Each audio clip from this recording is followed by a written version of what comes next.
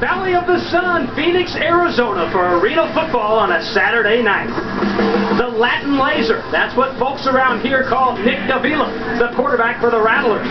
You pit him with Aaron Garcia, and you got two outstanding Hispanic hurlers looking for a muy grande win tonight.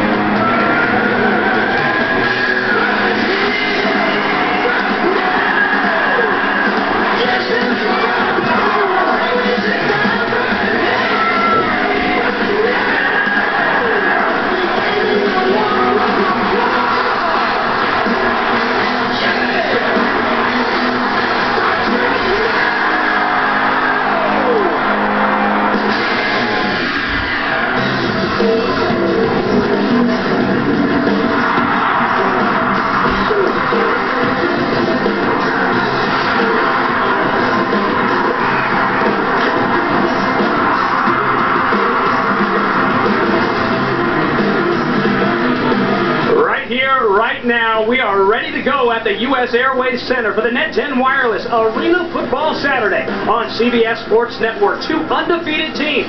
San Jose comes to town to take on Arizona, both with 2-0 records. Hi, everybody. I'm James Bates. So glad to have you with us tonight. How about the matchup we have for you right here in Week 3? The two best teams right now in arena football in what arguably has become the greatest rivalry in all of arena football. Last year, San Jose and Arizona got together three times. Two wins for the SaberCats in the regular season, but then when it all mattered, in the first round of the playoffs, it was Arizona victorious. They would go on, of course, to win Arena Bowl 25. Arena Bowl 24, though, Anthony Herron, went to the Jacksonville Sharks. The quarterback of that team, Aaron Garcia, and he has made his way home back to the great state of California. He's a Sacramento State product, and he's been here in California as a kid, and now finally as a professional football player, he comes back, gets to be near his family. And Aaron Garcia is essentially the Brett Favre of the Arena Football League with the astounding numbers that he's put up throughout his career, numbers that rival any other professional football quarterback in the history of the game. But this season, finally getting to be with the San Jose SaberCats, I believe the talent surrounding Aaron Garcia, especially now, having an Arena Bowl championship in his back pocket, he's looking to get number two before he calls it quits.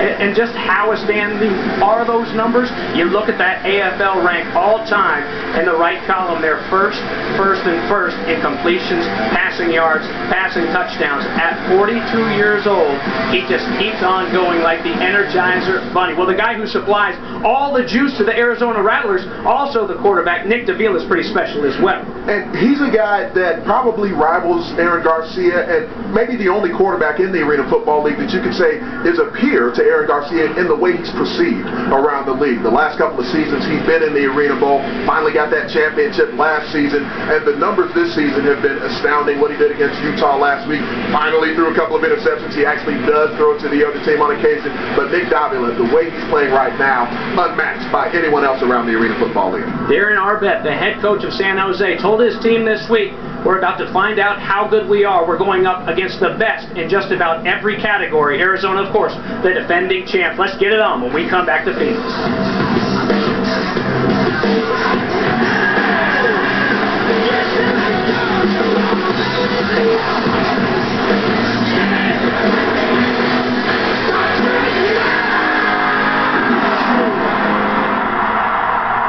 Uh, hey. I'm Bob.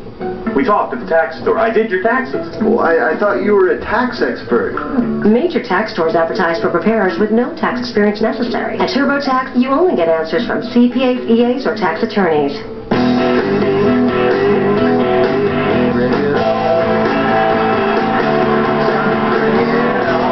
Buckle up for the PBR Built Ford Tough series. Sunday at 8, only on CBS Sports Network.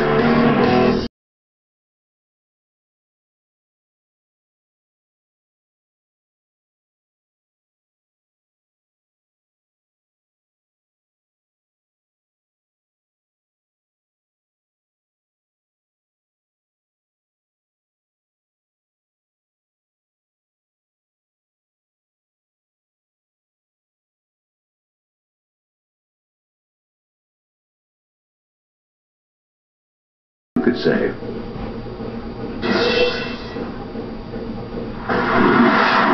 Hey, Let's go. Hey, 60 minutes. 60 minutes. That's all we're going to do. 60 minutes. Good or bad, stick together. All I want you to do is turn to each other and say, it's a 60 minute game. Good or bad, all right? It's 60 minutes, all right? Let's pray. With the division game, okay, we'll have a lot towards our, our playoff standings now. Let's go out there and take care of business. Be physical tonight. Be the most physical uh, team out there now. It's going to be a physical game because we're going to make it a physical game, okay?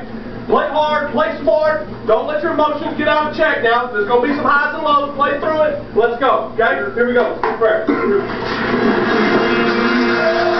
We welcome you back, and as we peek inside the locker rooms here at the U.S. Airways Center, we're reminded it's a long game and it's a physical game. Nobody knows that more than the winningest quarterback in the history of the AFL, Seth Bonner, and with him a gentleman that knows that quite as well. Thanks, guys. Hey, team. After everything you've been through, over 55,000 yards, over 1,200 touchdowns, what brings you back to this arena? tonight. It's just every night, every game, you know, just trying to get better each and every week. Here with a new team, we're trying to get to a championship, and this is a step along the way. With this new San Jose Sabercat, Sabercat team, you've got a lot of young guys mixed with some older guys. What's been the leadership role of the older guys, and what have they put on to the young guys? Man, just trying to lead by example and be able to talk to people when they need a little bit of help. But, you know, Coach Arbet and this organization have always done a great job doing that, putting us in a situation now to come out here and just play ball. Thanks, AD. Appreciate it. Thank you. Beachy. All right, thank you, Seth. As AT goes to get set, we'll get you set with some rules of the game. A few highlights as you scan that, Anthony Herron from the watch pool. And the running clock is going to last until the final minute of the East half, so the action moves fast and furious in the Arena Football League. No punting allowed, no outside stunning or twisting, but you can twist a bit between the back and the nose guard, and then the ball off the rebound net is live every time it comes off the rebound net. And be aware of that high motion, folks. One wide receiver in motion before every snap. When you talk about the best teams in ball, obviously you're going to have some pretty good coaches. Darren Arbet, in his 13th season as the head coach, three-time Arena Bowl champion, his 17th season in all with San Jose. AFL Hall of Famer. And over to the other sideline, it's Kevin Guy in his 13th season as well. Record of 104 and 43 as a head coach, and he led these Rattlers to their first Arena Bowl championship in over a decade last season.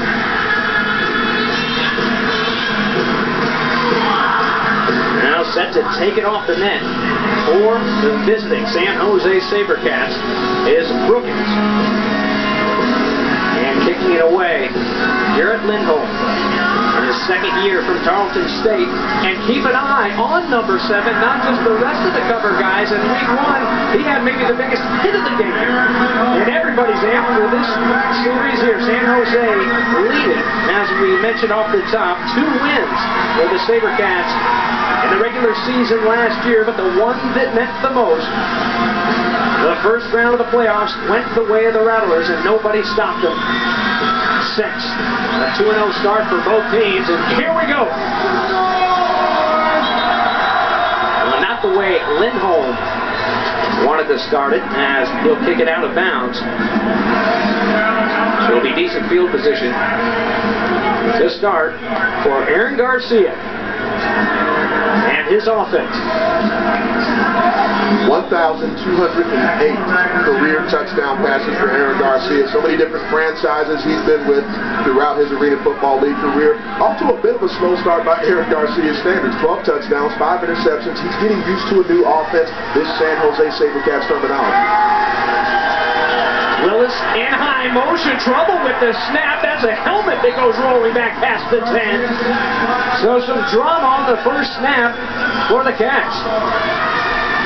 The matchup inside between the nose guard and Tyus Hawthorne and the center from San Jose, Raymond McNeil. That's it, big fella. Just bringing a quick swim move inside. They're worried about the nose and this entire defensive front from Arizona because they bring heat very consistently and they can do it from multiple positions.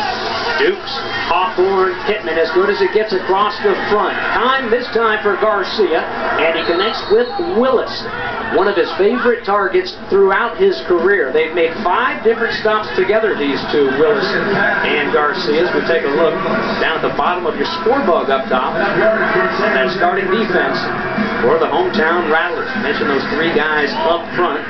Glasper, as good as they come at the max spot. Kerry Reed, an Ironman playing both ways. And it's Brown, Gray, and Floyd in the secondary. Play resulted in a first down. This one a little swing over to Whitaker. Whitaker fights his way forward for about five. How about a couple difference makers with this San Jose offense to start? Well, the pass protection is going to be key for Garcia. We've already seen that early in the game. Devin Clark, the football player who just signed this week, he's an experienced Arena Football League player, but they just got him in the lineup, and he's going to be matched up a lot tonight with Cliff Dukes, maybe the, the most well-rounded pass rusher in the Arena Football League, highly regarded potential future Hall of Famer. So we'll pick up a four. It'll be second down and six for Garcia. He pumps and he's dropped. Pittman gets to him. First sack of the game on the first series for big Marcus Pittman.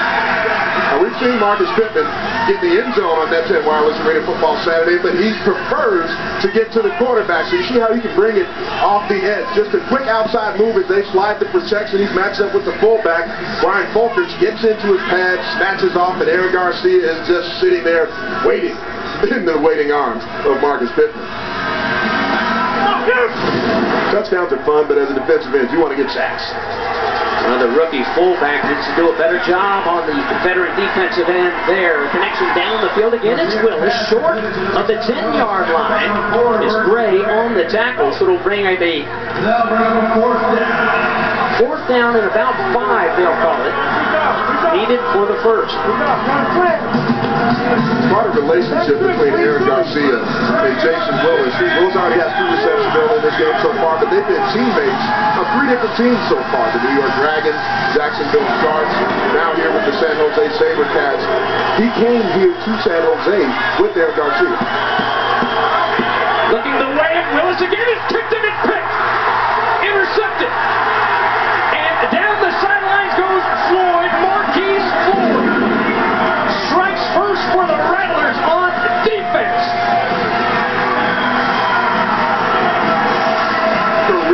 interception number 36 for Marquise Floyd. We just saw him seal the deal for the Arizona Rattlers two weeks ago in our season opener. Great pressure from Cliff Dukes. The tip ball falls right into the hands of Marquise Floyd, and he's Johnny on the spot. Like I told you, he's done it 35 other times in his career. He knows what to do with the football when it's in his hands. What up, my girl? I told you I was gonna give you one.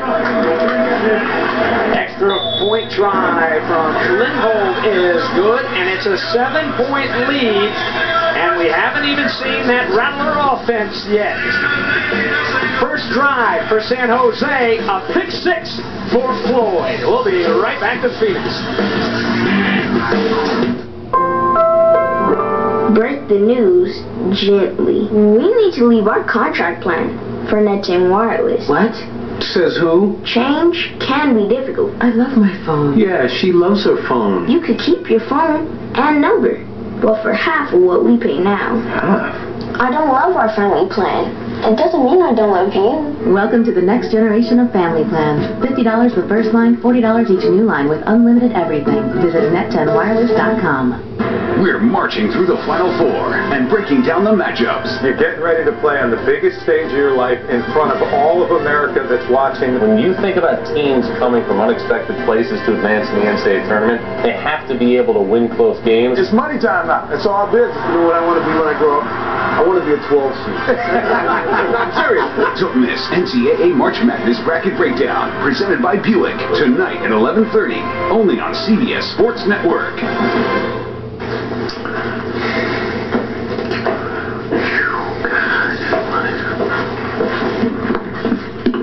You see it happening. Lynn turns the corner, Lynn to the basket. They're everywhere you look. And this is where it starts. It's a step on the journey. Right here, right here, hey, hey! They're working hard. Because really, this is the NBA.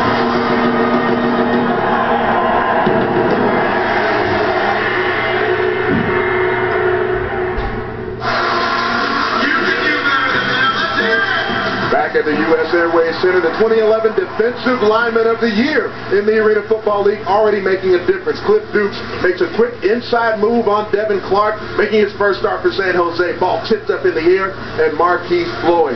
He's about as opportunistic as it comes in the AFL. And when that ball's in flight, all bets are off. There's no more pass interference, no more worrying about whether you're going to pick up a penalty. It's about getting the ball, getting to the paint. So one more time, Brookins will be out there to take it off the net after Lindholm's kick. San Jose fans, they got used to the interception returns for touchdowns back when Marquise Floyd was a SaberCat. 07 and 08, he had two pick sixes. This time he does it for his own team. This one's going to come off. The bar comes off the crossbar, bounces back out into play and whistled dead.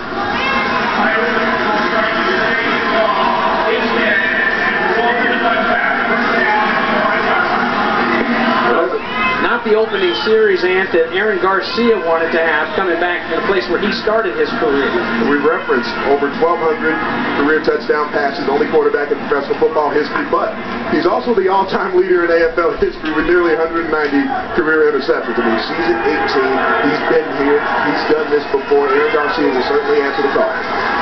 Whitaker in motion. There is a flag down. Whitaker goes up to get it. Looks like he almost lost the ball. A gain of about seven, but we'll check on the flag.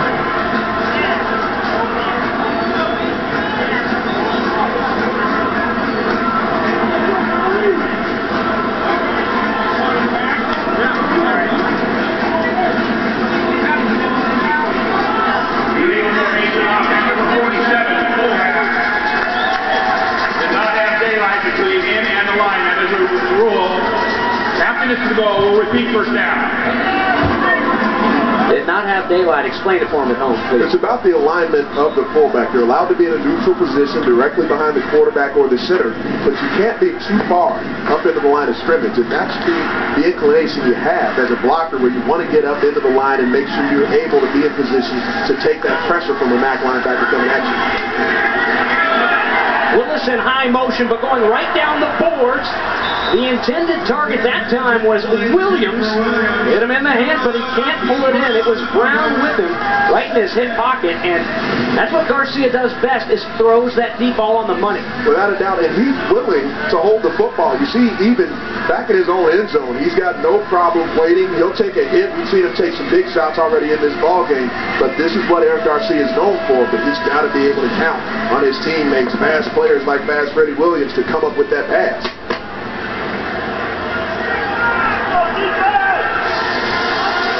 This first action from Freddie Williams. You pointed out earlier Devin Clark having a little bit of trouble in his first game of the year. Williams as well. This pass will go right back to Freddie Williams. And he fights forward there near the first down marker. So a third down is short coming up. Let's listen in on that San Jose huddle.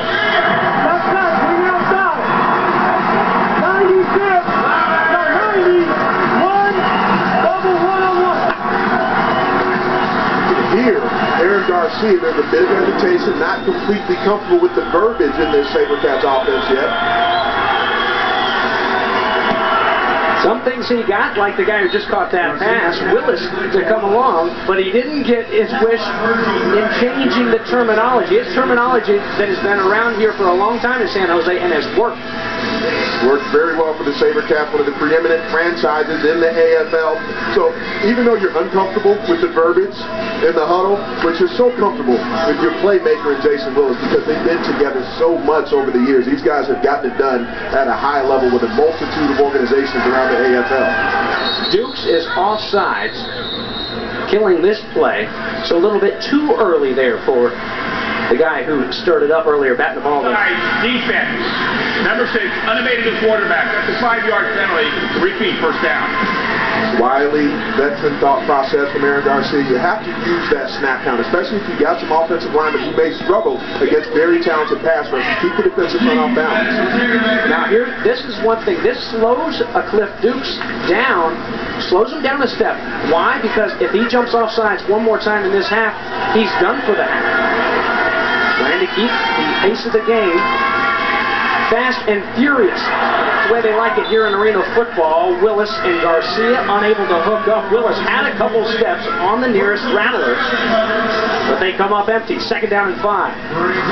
Jason Willis ran between two different areas of the zone coverage from Arizona. And so initially it looked like Virgil Gray was going to have a one-on-one, and then Arkeith Brown gave help over the top.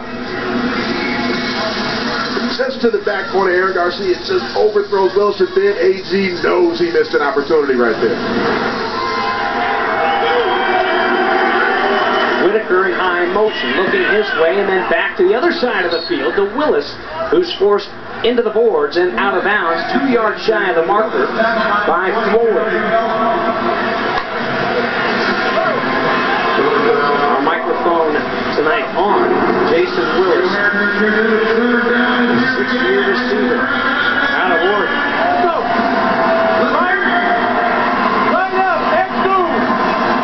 90, go! 59, 1101. You get a sense, Big Ant, these are a couple big downs here. San Jose early in this game, but they need to do something. Looking for Williams. Williams across the back of the end zone, pulls it down. Touchdown.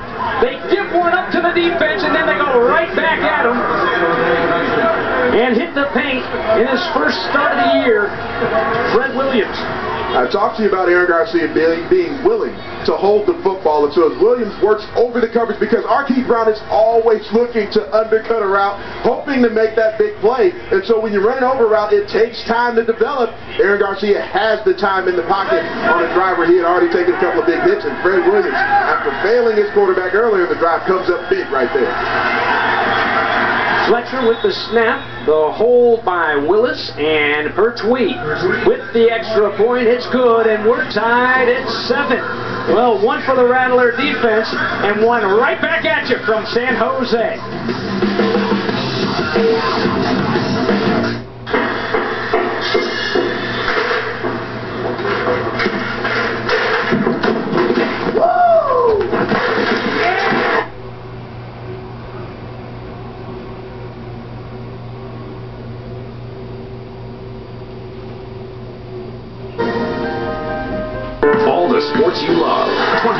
Hours a day.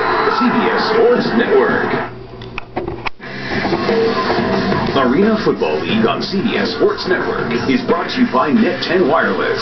No contract wireless on America's best networks. It's a tradition unlike any other. Don't miss week-long coverage leading up to the Masters with Masters on the Range, starting Monday at noon Eastern, only on CBS Sports Network, the 24-hour home of CBS Sports. Uh, somebody's feeling pretty good these days. Tiger Woods. Ready for another? There's the impressive 2013 that he has put together already. Controversial ad that came out this week. Did you see it, Ann? I missed it. Winning, winning. Basically, winning makes everything okay. Is that right? It certainly helps a little bit. Must be fun to live in that universe. I guess so. Pertwee. Taking it off the net is Perry. Here's Perry. Across the five. So we'll get our first look at this Rattler offense led by Nick Davila. When we come back, Garcia already has seven in the books. We're tied.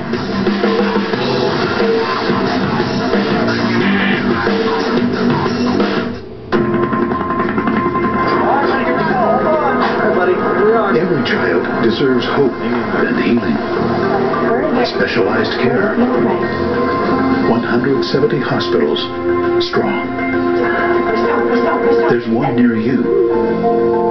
They all need your support. Children's Miracle Network Hospitals. Helping local kids. Hi, I'm Kyle Chandler. When a high school football player suffers a catastrophic spinal cord injury, Eddie and Chris Canales and the Gridiron Heroes step in to support this injured athlete and his family financially and emotionally. They help keep the lights on, keep food on the table, and they provide wheelchairs and wheelchair-accessible vehicles. I'm Eddie Canales, and this is my son Chris. Please log on to gridironheroes.org to find out more about Gridiron Heroes and how you can help support. So please join us in supporting the gridiron.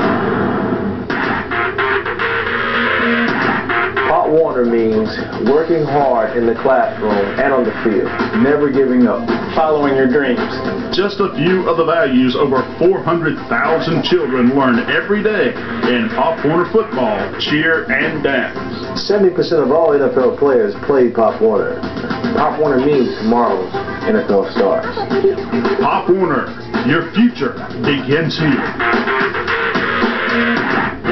At Echo, we believe you should never settle for less than professional grade outdoor power equipment. During the Echo Trade Up and Save event, you can buy America's top rated trimmer for less than $200 at participating retailers. Echo, get serious. Do I use new Gold Bond men's lotion to look good or feel good? Yes, I do. New Gold Bond Men's Lotion. Skin strengthening proteins plus seven intensive moisturizers.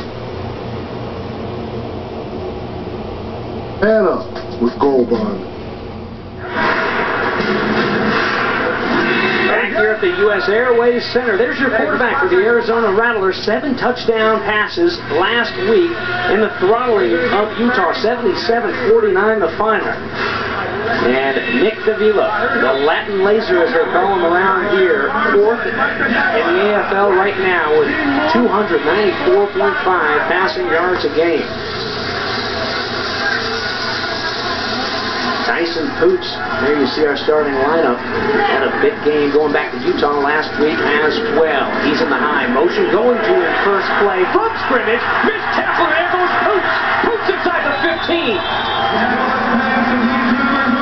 Brookins had him wrapped up for a short game, but couldn't drag him down. There's a precision to the way that Tyson Poots runs his routes. But he's certainly not a speed burner, but he hits his mark, throttles down, and he's got such quiet hands. There's no fear. Whether he's got the ball in his hands or not, he's not afraid of contact. And Nick Davila, even though this is only the second game he's played with Tyson Poots, he knows precisely where to throw it. Reed in the high motion, and here's the pitch to Armstrong. Not much there for Armstrong. Let's get it down to Seth Bonner. Tackle by Stewart, gain of two, second down. Intercept, you come back with a nice touchdown drive. Talk about it. Well, I mean, receivers doing a good job. Even that first drive, I had Jay Will open. Ball gets tipped. Those are some of the things you can't control, but, but we got to try and minimize these turnovers as a group. So come back and you got to answer. This team is going to be a long night, 60 minutes, and that's what we tried to do. Are they doing anything to you that you haven't seen on film? No, they're good up front. They're going to put pressure on us, and we just got to hold tough, stay together. Receivers are doing a good job. I got to I got to keep them mistakes down, and we got to keep playing all night. Thanks, AD. Back up to you guys. All right, Seth, thank you. And if there isn't a bad wheel there on that body of Seth Bonner, they're both probably playing tonight, 42 and 44, right? Right. Offense. Number 51, five-yard penalty, remains second half. You heard Dave Kataya tell us the center, Billy Eisenhart, who's one who's offside, or false start, I guess, in this case. Knocks you back as an offense, but the interesting thing about this, now you're back to the 15-yard line, Batesy, and it actually gives you more of a route tree that you can run. You have some space beyond the end zone. You can allow routes to develop a little bit better than when you're inside the 10, things are so condensed. There's Reed in high motion again, looking for him, and the lefty fires the Poots. Touchdown! Nice looking opening drive for this offense. And Arizona with the lead one more time. Oh, look at the four. You don't need to watch the Final Four tonight. You got Tyson Poots shooting hoops. We're going to watch a quarterback in his comfort zone because Nick Davila, as the pressure comes, he feels it. So his eyes don't go down to the rush. His eyes stay downfield on Tyson Poots, and he just calmly shuffles back outside the pocket, throws the football before Poots even came out of his break and put it on the money. Eisenhart, the new center this year, with the long snap. Murrieta with the hold, and the extra point is good. Poots had his first game back last week, a big one against Utah. He starts off right where he left off.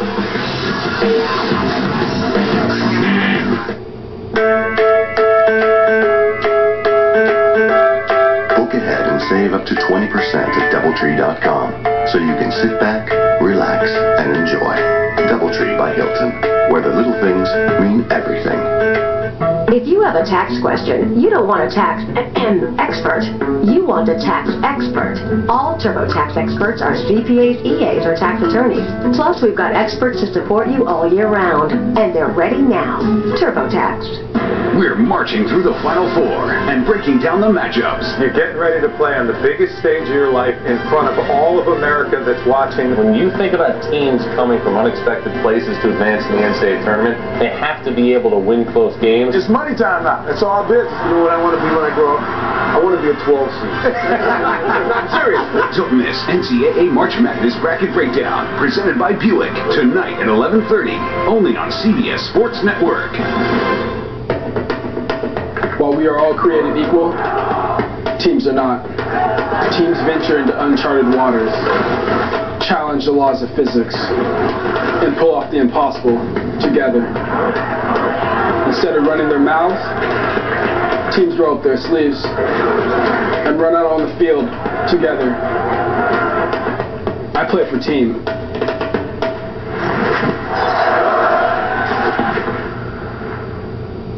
Kiss, no filler, no ballads, just full throttle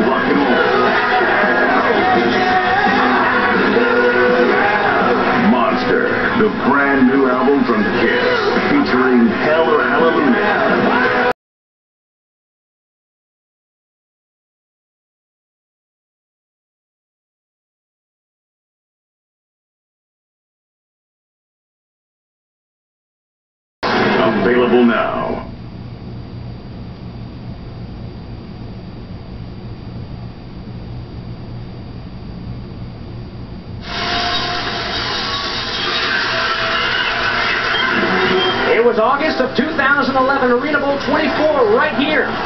Last play of the game, trailing Jacksonville, the Sharks 70 to 67. The quarterback, the game-winning touchdown pass, none other than Aaron Garcia.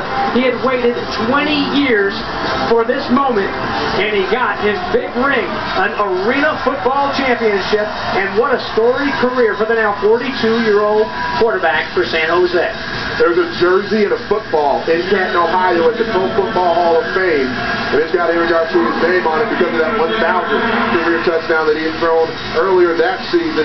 And everyone expected that moment we just saw to be the Michael Jordan moment against Utah when Jordan hits the side at the foul line. They're thinking he's just going to trot off into the sunset. And two seasons later, at 42 years of age, Aaron Garcia continues to light people up. Lindholm eyeing hard the bar, and wow, that got interesting. There's a flag that will come down well behind the action while they figure that out.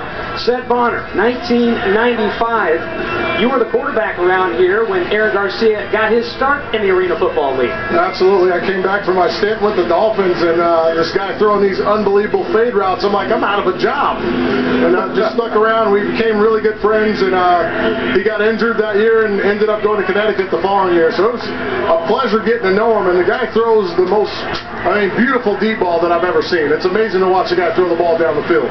It says when you think about measurables of a quarterback, obviously you is 6'4", 6'5", 230 pounds. Aaron Garcia is such a diminutive guy. After this snap, I'd like to get your thoughts on the mechanics he uses in the pocket, how he's so effective. So from his own end zone, here's Willis. Willis with plenty of room, and he gets a block by Whitaker. Midfield, down to the 20 of Arizona on the first play of this drive. As Jason Willis appears in the screen, it's going to be a quick motion, and he runs what's essentially a slant route, but it stops right there in the zone, so as Garcia delivers him the football, he's out in space. Clean pocket, three-step drop. Defense didn't seem quite ready as the offense broke the huddle.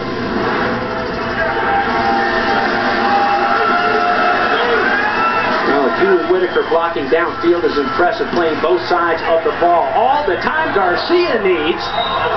We've got bodies down on the turf and a flag coming up, probably a pass interference on Brown here.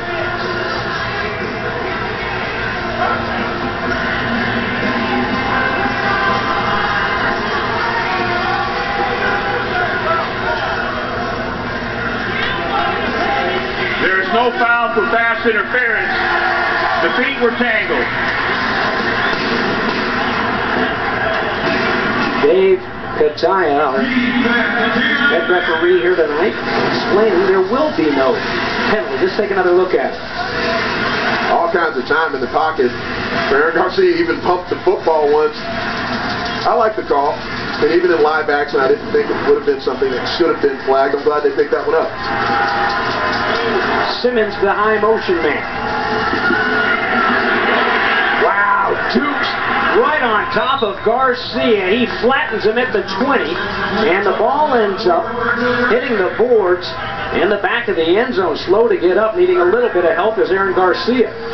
I talked to George Bussey, the guard for the San Jose SaberCats before the game, about this matchup right there between himself and Cliff Dukes and the versatility that Dukes can rush the quarterback with because we've seen him make the quick inside move, and there you see him bring the power. After he brings the power, snatches off the guard, and now he just lays heavy on the little 195-pound Aaron Garcia. And as my partner here, defensive lineman in the NFL and AFL knows, one move works, and they all start to work on those linemen. You can mix it up a little bit. Penalty flag down the field. If this stands, it should be a first down for Simmons. Whitaker may have been running that defensive back out of there.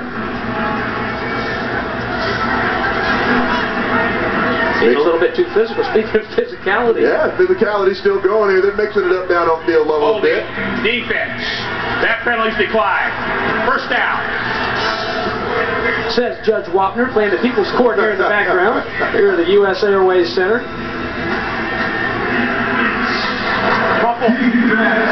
Right trip. Up.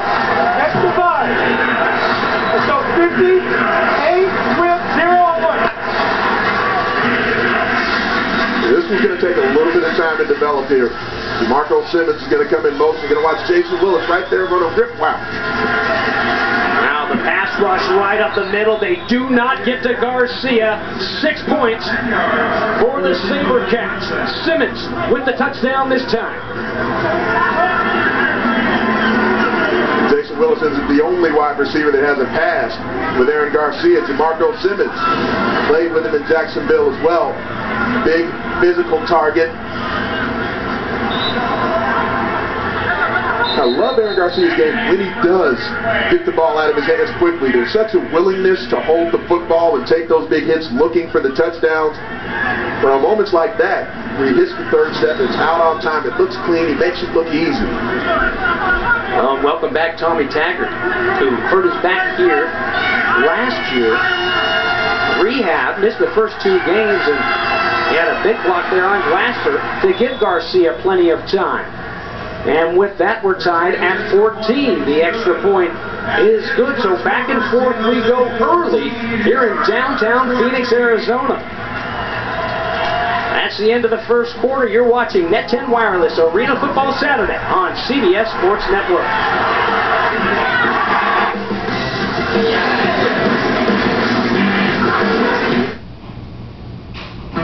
We're Rascal Flatts, and we are so proud to serve as ambassadors for the Jason Foundation and all of its efforts in addressing the national health problem of youth suicide. Are you aware that suicide is the third leading cause of death for our youth ages 10 to 24, only surpassed by accidents and homicide? It's also one of the leading causes of preventable death in our nation today. So whether you're a student, educator, or parent, you can help make a difference in your own community. Visit jasonfoundation.com to learn how you can start making a difference today.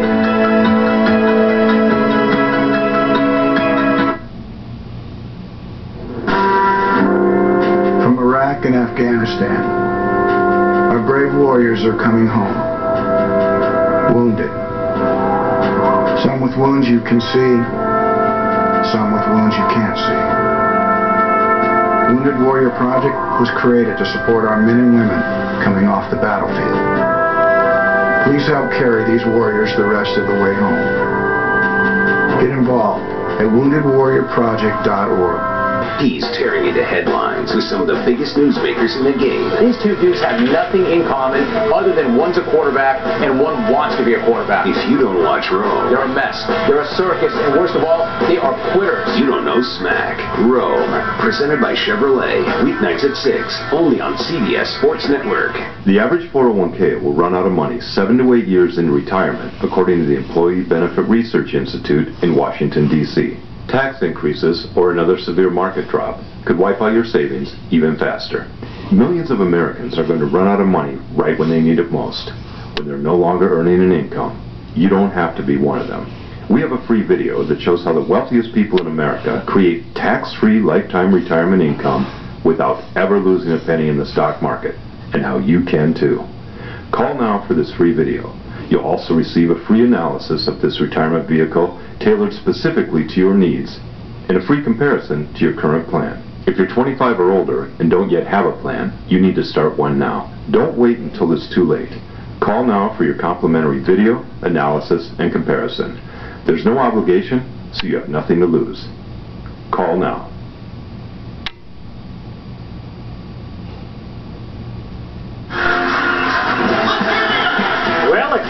Titans here in the West Division, two of the best teams in arena football. Not the way Aaron Garcia wanted to start this rivalry on the opening drive.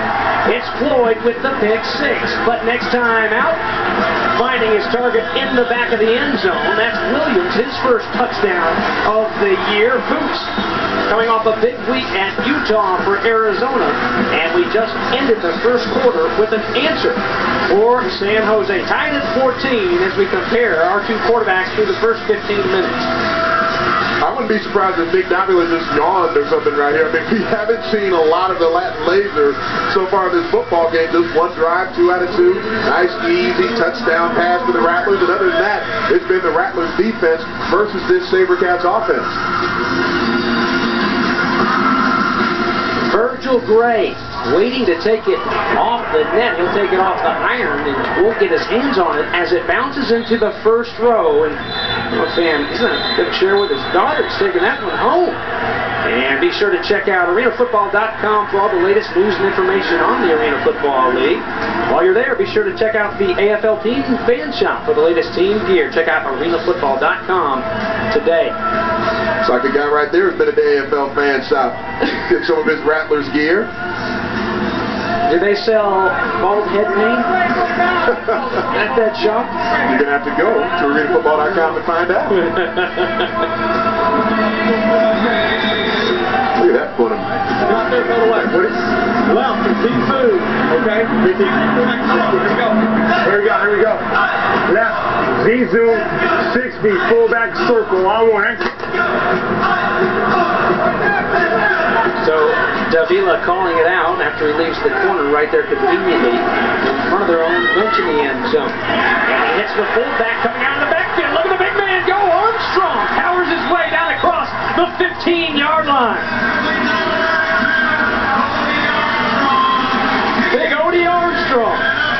And a fullback circle, you're going to see the big fella work his way out of the backfield. Not an expected play call. Backed up into your end zone, but Odie Armstrong executes it to perfection. He's a guy who knows how to find the end zone. Over the last couple of seasons, he's had 19 total touchdowns, 17 total touchdowns. Early in this season, he's gotten his hands on the football in a variety of ways for the Rattlers. And so, even though Odie Armstrong a great blocker at the point of attack, he is certainly versatile enough, and he's shown it throughout his career to hurt you with the ball. Second team All AFL last year was Odie. Poots again. Opposite end of the field, same result. Tyson Poots. Two big touchdown catches.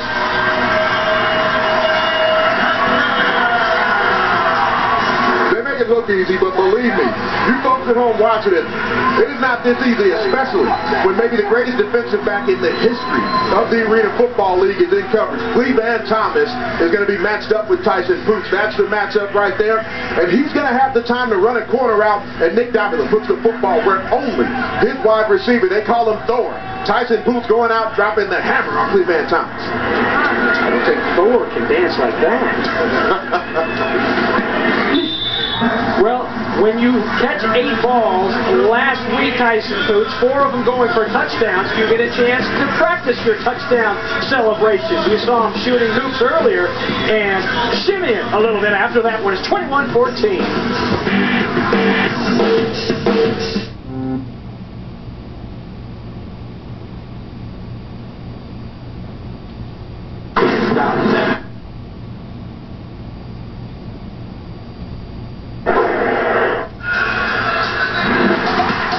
Lee Van Thomas, what a start for him here in his eighth season, all with San Jose. Four picks on the year, three in the big win over Orlando last weekend.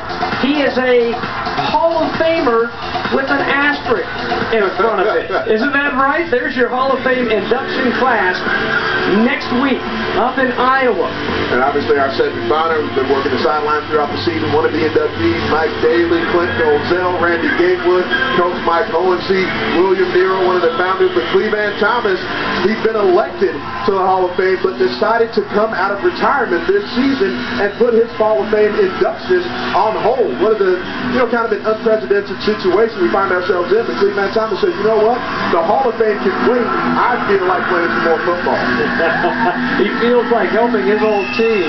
There's a lot of helping the youth down in his hometown of Miami, Florida. That's what he did mostly in the past four years that he took off. And the rule is you, your career has to be three years over before you can be inducted, elected into the Hall of Fame. We've got Seth Bonner going in, and that was the case with Thomas. Now, when he is done playing officially, he won't have to wait three more years, right? They, since he's been voted in, he'll go right in next class, correct? Correct.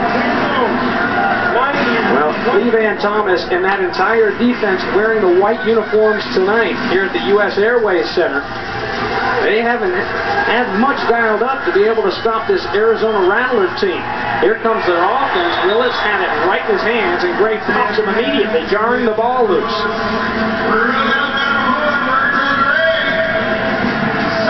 Jason Willis, normally very dependable hands, just runs an out route, but you'll love the form on the tackle from Virgil Gray. Puts his hat right on the outside, runs through contact. Well, Big Ant, you love the form. You also love the no call. A lot of times in the outside game, that one's getting a flag. We've seen let him stir it up a little bit there. Perhaps not on the same page. Looking for Williams, who had the touchdown grab earlier. Great job covering stride for stride down the field there by the cornerback. That might be Whitaker that was with. We've seen Aaron Garcia getting picked up off the ground repeatedly throughout the ball game today. Roughly every other snap, there's a SaberCats offensive lineman picking up their QB. This time, it's Ray McNeil. Turns around, good pressure from the back linebacker, Tyree Glasper. Has to turn around and pick up AG. It was Brown on the coverage. Here's a big third down and 10 now for AG and company. From his own end zone, could be a flag, but they won't get one. Look at the direction of Williams, so incomplete. Here's your fourth down and 10. Good job defensively, back-to-back plays by Brown.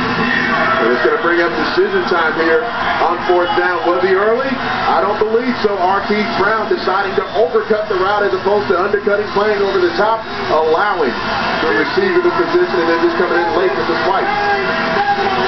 Under 10.50 to play in the first half. This is the Radiant Football League action. Fourth and 10 from your own five-yard line, and the SaberCats going for it. Willis in the high motion. Time for Garcia. Looking for Willis. Intercepted. Recovery coming back underneath it. and Gray picks it off. Ball is still alive as he gets a couple blocks down the field. And then gets fancy as he tried to get it over to kill him. And what a job recovering by Gray, who was beaten by five steps. A little bit too much air under the Garcia ball, perhaps. Well, there's no punching in the Arena Football League, as we mentioned in the open. And so on fourth down, the ball's in flight. Virgil Gray, if he's thinking on his toes, maybe you just let that one hit the ground, but you have to do something because it was looking into the waiting hands of Jason Willis. So if you turn back shoulder, maybe just deflect the football. But when Aaron Garcia lays one up for grabs, Virgil Gray, he's been a ball hawk throughout his career. He took one back to the house on Tommy Grady last week. six interceptions the Rattlers had on Utah last week in the win. Hit it, he throws to Vila, but he connects down the field with Windsor. Flags all over the place, at the line of scrimmage, and also deep in the secondary.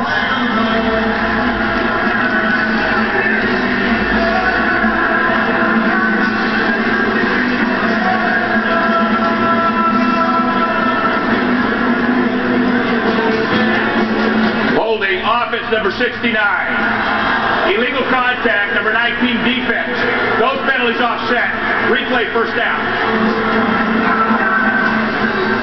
Well, first the hold, that's on Michael Huey. And it's tough duty for Michael Huey because he had Dustin Warren coming around the edge, and really both these edge rushers, Jabari Fletcher as well, just working off of Huey. Does a nice job snatching off.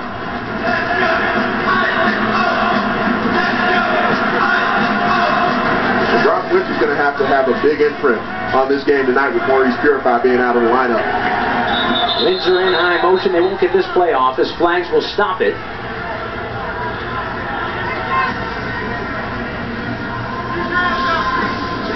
Encroachment, defense number 94. Contact. Five-yard penalty remains first down. Well, we saw Windsor on the play.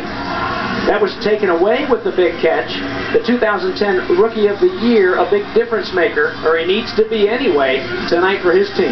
He's certainly going to have to be for the Arizona Rattlers. And you mentioned that 2010 season, an AFL rookie record, 193 receptions for nearly 2,400 yards, almost 50 touchdowns, and he will be matched up predominantly with Clevan Thomas. We've already talked about one of the all-time greats. Oh, underneath, and Perry turned and went before he had the ball secured. Jared Perry would have walked into the end zone. For all you young football players, and especially you young wide receivers, don't think about catching the ball with speed, catching it with your hands. You catch the football with your eyes. Jared Perry, last season's AFL Rookie of the Year, took his eyes off the football. You know better than that, Jerry Perry. Got to look it all the way in, and you're smelling the paint. And when you look at Perry and Purify, who's not playing tonight, Windsor, those are the last three Rookie of the Year winners in Arena football. That one too easy as well. They go right back to Kerry Reed, and it's touchdown Rattlers.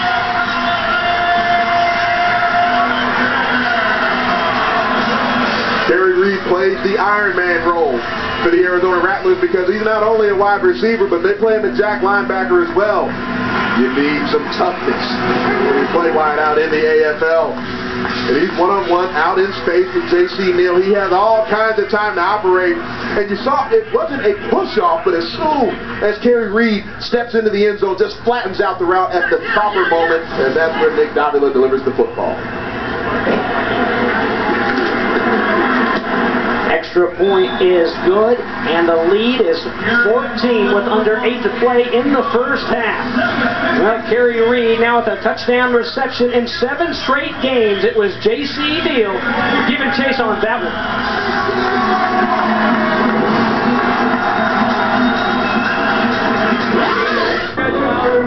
Oh, there is.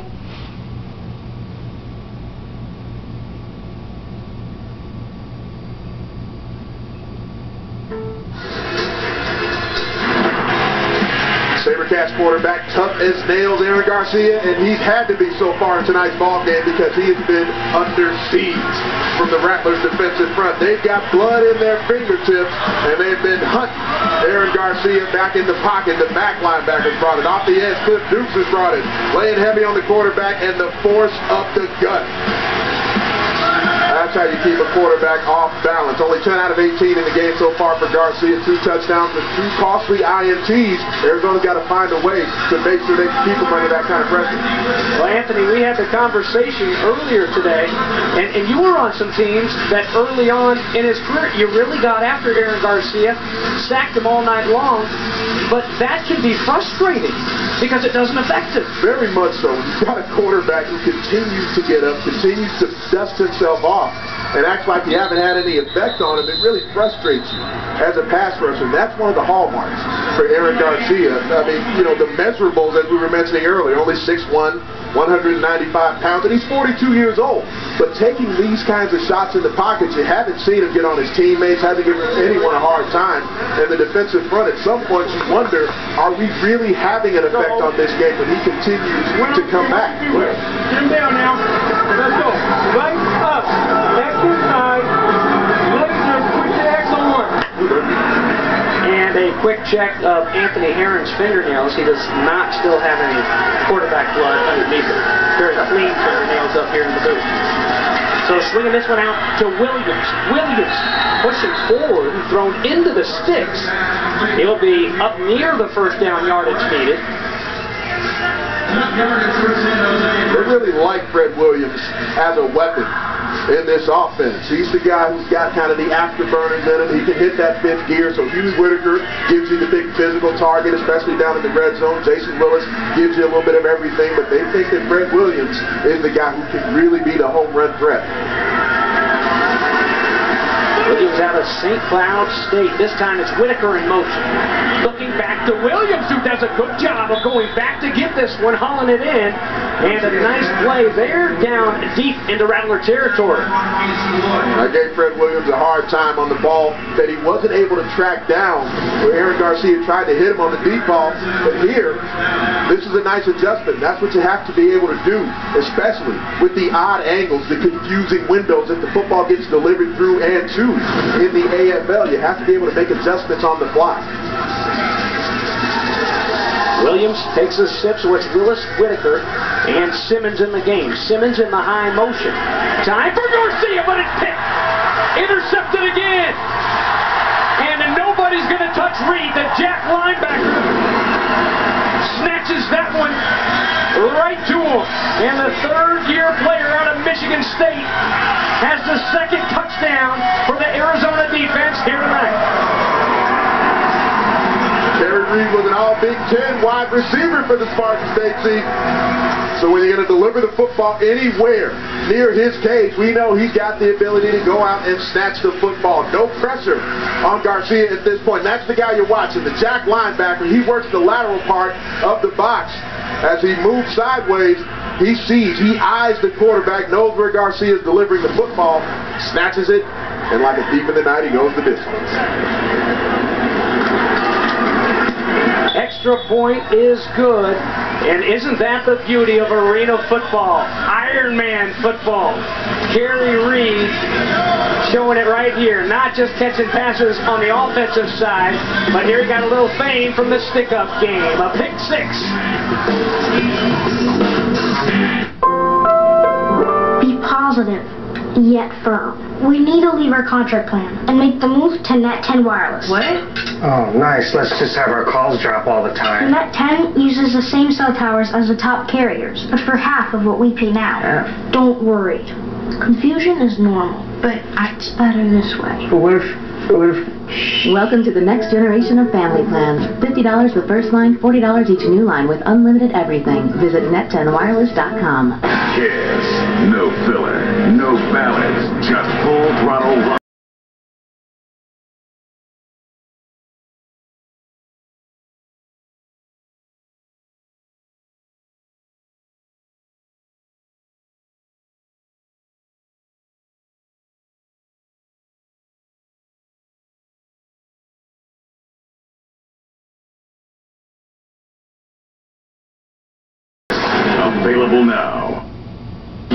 Arena football fans, grab the hottest officially licensed Arena Football League team gear from shop.arenafootball.com. Look like a true fan by heading to shop.arenafootball.com for hundreds of authentic AFL team items. Get the best customer service, 365-day hassle-free returns, and flat rate shipping on any size order. All at the official online store of the Arena Football League at shop.arenafootball.com. Mom! Dad! Why wait till school ends for the fun to begin? When we can totally go to Orlando in May or June and do more of the stuff we love. Dad, we can have our rides. Mom, we can catch more shows. Sis, we can meet more characters and still get plenty of pool time. Plus, we still have our summer fun to look forward to. So, what do you say? Shall we start packing? There's time for more in May. Today at visitorlando.com slash more. In the win over Orlando, Aaron Garcia connected with five different receivers. He had seven touchdowns. Well, the only way you can get better than five is to throw it to the teams in the opposite colored uniforms. Floyd takes a deflected pass, and then it's another interception by Gray. The third pick of the night, though, doing the most damage, and really the one that is on Garcia's shoulders the most, throws it right to the Jack linebacker. And it's a touchdown the other way for Kerry Reed, and that is the difference. The three interceptions and the 21 points off of them is really going to make it a steep hill to climb for this squad.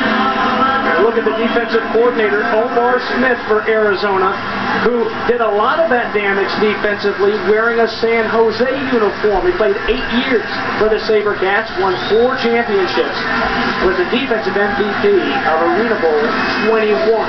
Off the net, and here we go with Brookins. Brookins, a little bit of room to wiggle. Some blocks picked up, and here goes Up across the 15, down near the 10.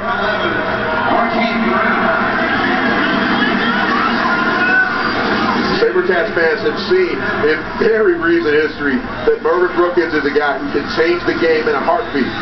Last week against Orlando, San Jose trailed late that ball game. Brookins took it back 58 yards for a touchdown with only 27 seconds remaining.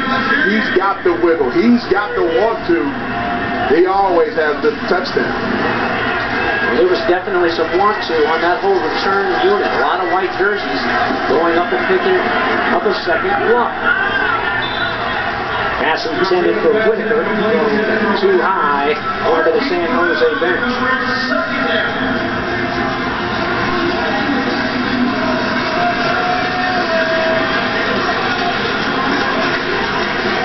Here goes that.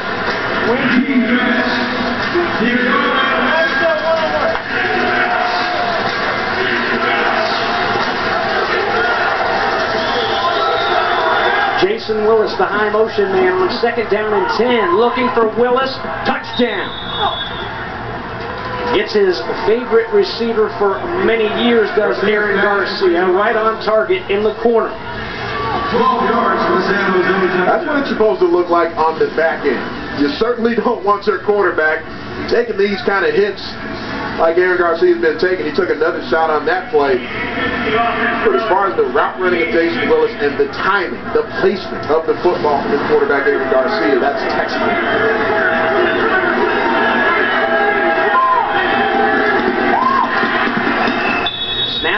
Good job by Willis to place it for Betwee. And extra point is good. 14 point ball game. Back down to Sherdrick Bond.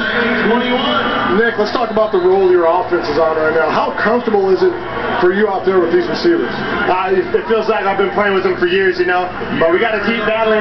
We got three minutes left in the second quarter and a whole other half to play. So we got to we got to keep battling. They're a good team, so we'll just see what, what happens from now on. Knowing who's on the other side and Aaron Garcia, the legend of the league, does it bring anything more to the table for you to come in here and try to put a performance on? Uh, you know, uh, Aaron's a great quarterback, and I try to compete every time. But whoever it is, I'm always going to try to compete and be the best. Appreciate your time, Nick. Guys. Two California kids, said and Nick, and two great quarterbacks here for the Arizona Rattlers. And last year, Nick Davila led this squad to its first Arena Bowl championship. Seth, Seth Bonner was the QB. Down in New Orleans, the Big Easy. Now, it was pretty easy, thanks in large part to Davila, the MVP of the game. When the dust settled, it was 72 to 54, the final score in Arena Bowl 25, and the Jim Foster Trophy back here to the Valley of the Sun.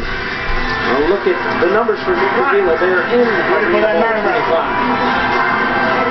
Touchdowns, zero interceptions. He got the victory last season in Arena Bowl 25, but even the year prior to that had seven touchdowns, only one interception in the game where we've already showed a few clips that Aaron Garcia got the better when he was with the Jacksonville Sharks. 17 TDs and one pick in two championship games. Here's an onside kick. San Jose pops it up. Reed does a good job of getting it. So it will be Arizona ball after the onside kick. The reason you do this strategically is because you're down several possessions now. Only down two touchdowns. Turn the football over three times as the San Jose SaberCats. You have to find a way, Batesy, to try to steal those possessions back, and the onside kick is one way to do it. It speeds up the clock, if you will. An offense that can't eat as much clock going up and down the field, and, well, it gets a lot harder when it gets tighter down in the red zone. Let's see what the deal in the offense have dialed up here. Boy, does it ever work. Picked off by Neal. J.C. Neal brings it out of the end zone. He's hog-tied and thrown down as he crosses the five. There are flags down. And this is a big one if it's going against the SaberCat defense. Boy, do they need to turn the tide here.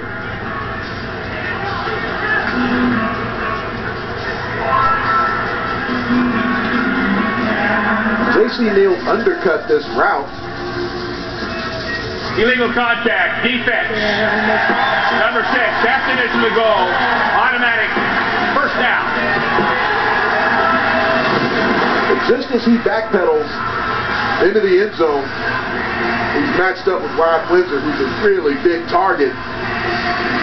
And it's, ah, yeah. I'm a defensive player by nature, so I know I'm a bit biased, but it looked like a clean play to me. There was some contact beyond 10 yards. I think they could have let that one go. I think maybe you let it go if it's one hand, but when you grab both hips with both hands, maybe that's that's where they got him on it. But to me, in that situation, the wide receiver one who initiated the contact. Reed was the motion man, but just a decoy to block for the big man. Odie Armstrong powered his way into the end zone. Touchdown, Arizona. The versatility of the Rattlers fullback, Odie Armstrong, all six foot one, 260 pounds of. Great blocking on the edge at the point of attack. You see no white jerseys in the frame as Odie Armstrong just goes barely in the end zone.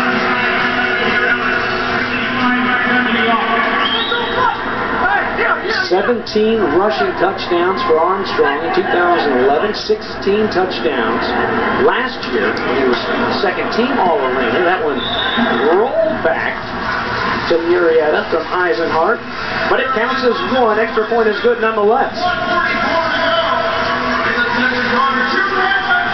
Well, we mentioned there will be some awards handed out next week. There'll also be a little bit of football played next Saturday at 11.30 p.m. Eastern. The Net 10 Wireless Arena Football Saturday game will be between the Philadelphia Soul and the Iowa Barnstormers from Des Moines, Iowa. Tune in next Saturday at 11.30 on CBS Sports Network. And here's Big Ant's top five quarterbacks as we stand right now. You got Tommy Grady at number three. Is he healthy? Is he healthy enough to belong at number? That, that's a big question coming into this season. He's got he had all the records that he set for single season in AFL history last year, but that right hand, his throwing hand, he does seem to be struggling with that. We just saw J.J. Raterink, America's quarterback, as they call him in Des Moines, Iowa. He had a big game last week, but Nick Davila, without a doubt, and we're seeing it yet again tonight, and playing at a level like no other quarterback in the league at this point. Well, J.J. Raterink and the Iowa Barnstormers, we had them on the Net 10 Wireless Arena game last Saturday night. They were 2-0, matched up against Spokane in the, other undefeated matchup this weekend.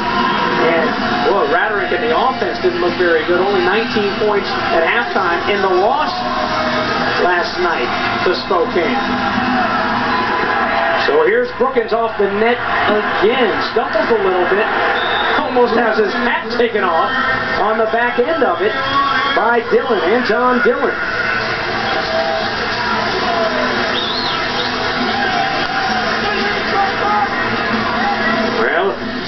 They would have liked J.C. Neal's interception to count before they came trotting back out, but you need a quick strike here from Garcia and company now. Comparison between the QBs tonight. Nick Davila, he hasn't even had to be on the field that much yet, but the three drives have all led to touchdowns, only six pass attempts. Aaron Garcia, he's got a full game of action here already. We're not even finishing the first half. Remember, Arizona will receive the kickoff to open the second half. And pushed forward here after the catch, Williams by Gray. Five tackles we have unofficially for Gray already here in the first half. The one-minute warning, a big old lead for the hometown Rattlers. We'll be right back to wrap up the first half. If you have a tax question, you don't want a tax expert. You want a tax expert. All TurboTax experts are CPAs, EAs, or tax attorneys. Plus, we've got experts to support you all year round. And they're ready now. TurboTax.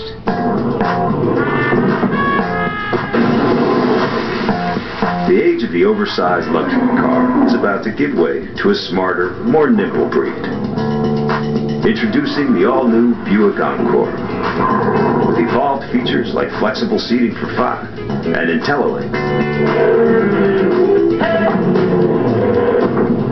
Clearly, the next big thing in luxury is small. Before Allegra, my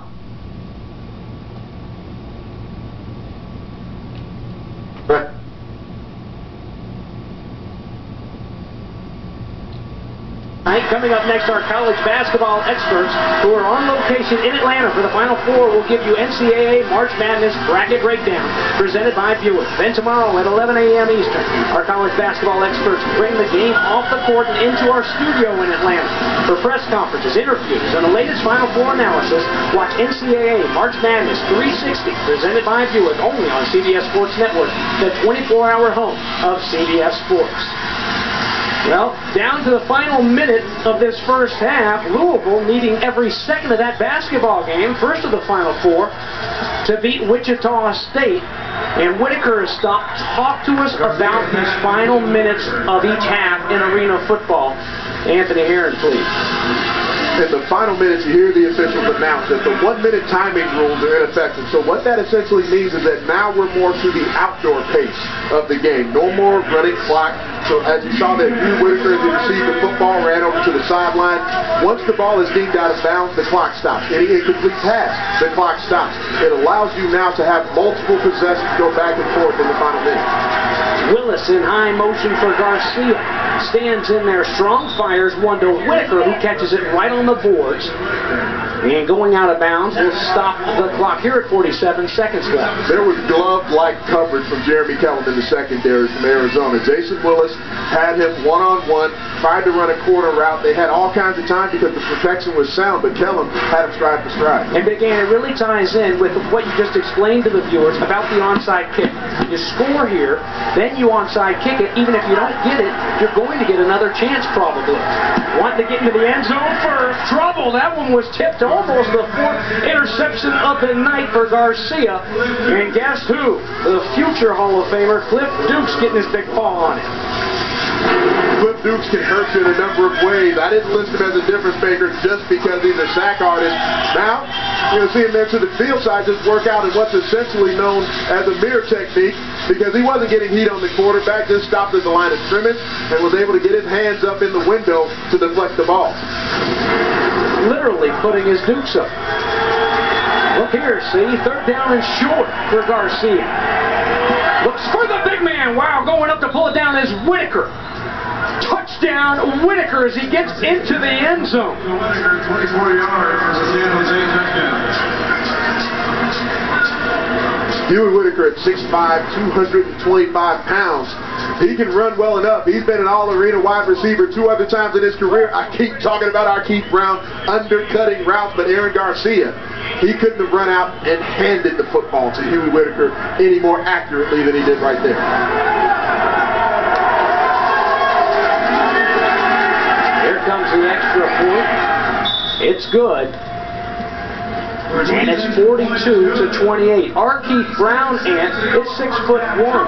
That's a decent size for a quarterback. But when you're six foot five, you know these these receivers, just like the outside game, just like college ball, just like the NFL, have gotten bigger and bigger. Great big targets for these quarterbacks to throw to.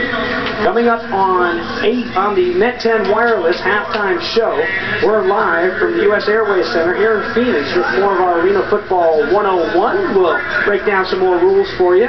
We'll have last night's news from the games around.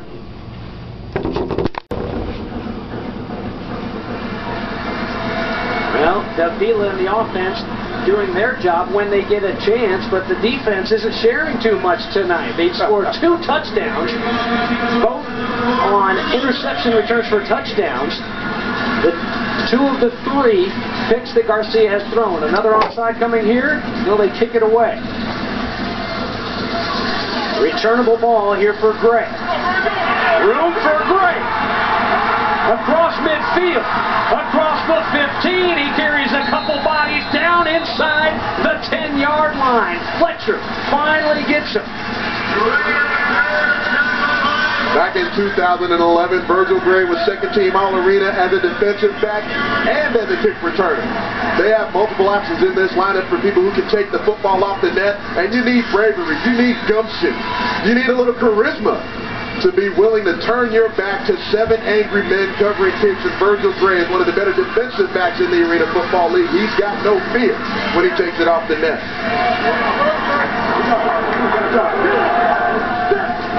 Perry in high motion, the handoff to Armstrong. Armstrong gets maybe a yard before he's forced backwards by Warren and company. San Jose, their first charge timeout timeout. Called with 22 seconds left. We've got Davila wired. Well, those batteries are going to be fresh for next week. With what little he's used that microphone here tonight, not much on the offensive side. Should they have kicked that one onside? When you look at what's the clock, I mean, it basically you get the same result because of the long return. If I was San Jose, I would have preferred an onside kick in that scenario because you haven't come up with a stop yet anyway. So you kick it deep. Now they have an opportunity to drive the long field, and they can be the last team with the football. If you kick it onside, maybe they have to score quickly, maybe they don't, but you're at least defending in short space. I would have gone onside. Well, our Vets team last week in the win over Orlando, they had six onside kicks kicked at them, recovered them all. In the big win. One, two, ready. Along with Seth Bonner and Anthony Herron, I'm James Bates. Glad to have you with us here for the Net 10 Wireless Arena Football Saturday. First half coming to an end. 22 seconds remaining. Flags here and there. One down near the coverage, one up in the offensive line area.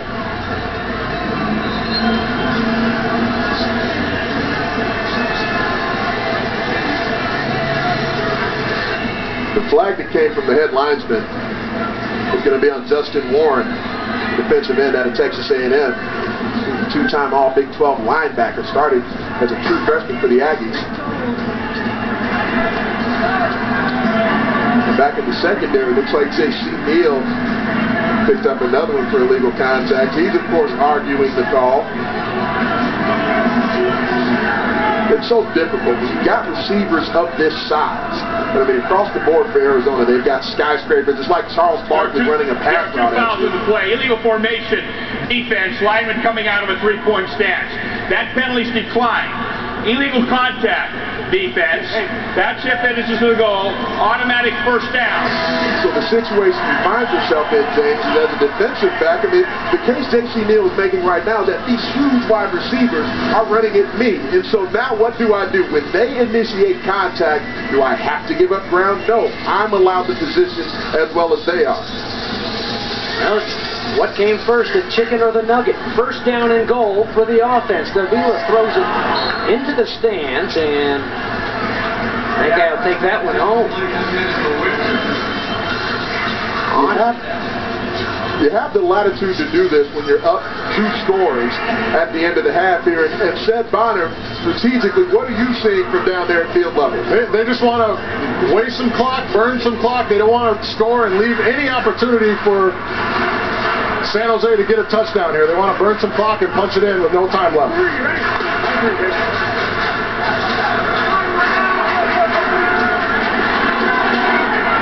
13 ticks remaining here before halftime.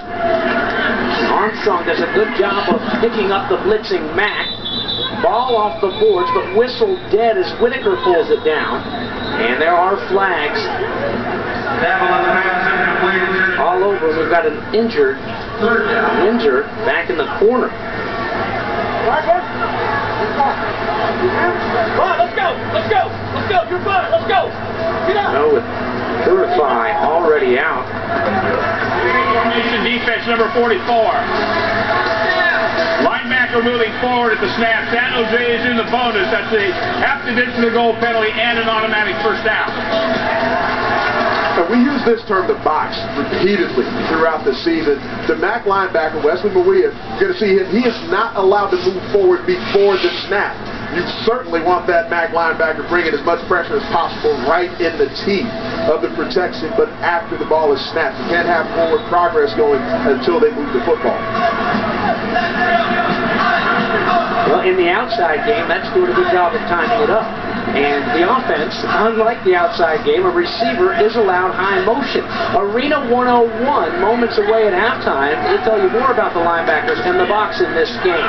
There's another flag as Poots was tangled up with Thomas. Boy, has Clevan Thomas ever been quiet here tonight after his three interceptions last weekend. This is essentially what Clevan Thomas is known for. He was one of the first great defensive backs that was able and willing to press the motion. Right there at the line of scrimmage, you've got that wide receiver streaming downhill in high motion. And Clevan Thomas Pass is a defensive interference back defense. changed the game Number with the nine, ability to penalties do after that. this to the goal. Arizona has elected to take the option of adding time back on the clock. Timer, please reset the clock to nine seconds. That was known as the Doug Plank rule. Currently the Orlando Predators head coach, formerly actually a part of the Arizona Rattlers organization as a defensive coordinator. One of the things Doug Plank would do on defense would just be to continually take penalties over and over again to run time off the clock. Now the Doug Plank rule has been put into place where the offense has the option to put time back on the clock on a defensive foul. San Jose, their second charge timeout of the half. A 30-second timeout. So a timeout call by the Sabercats with nine seconds remaining. And that gentleman right there, Darren Arbet, he and his defense, they have to find a way to get a stop somehow here because two touchdowns down to this squad is enough when you kick off to them to start the second half. Three, almost insurmountable. Wait.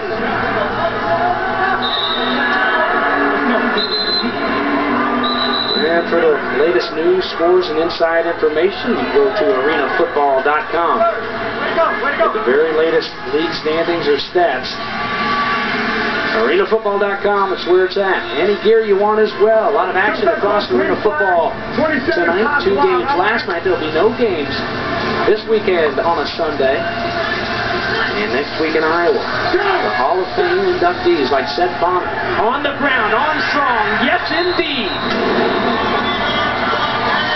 What's the saying, Ant? A rolling ball of butcher knives? Number 32 is just that. Armstrong has been second team All-Arena multiple times in his career. Especially at this point with Derek Ross and some of the astounding numbers that the Philadelphia Soul fullback has been putting up. But Arizona Rattlers fans, and especially their head coach Kevin Guy, would make the case that Odie Armstrong is the best fullback in the business. Well, doing his damage on the ground. Remember, he had a big 36-yard reception earlier. That is second touchdown run of the night. And the lead is now 21. Here's another look at it. The fourth year back out of Northwest Oklahoma State. When you're operating down in the red zone, you have to create space in the confines of the AFL. You're going to see action looking like it's going in one direction because of the motion, and Odie Armstrong off the toss play, one-on-one, right in the hole with the linebacker for the San Jose SaberCats, Wesley Mawia.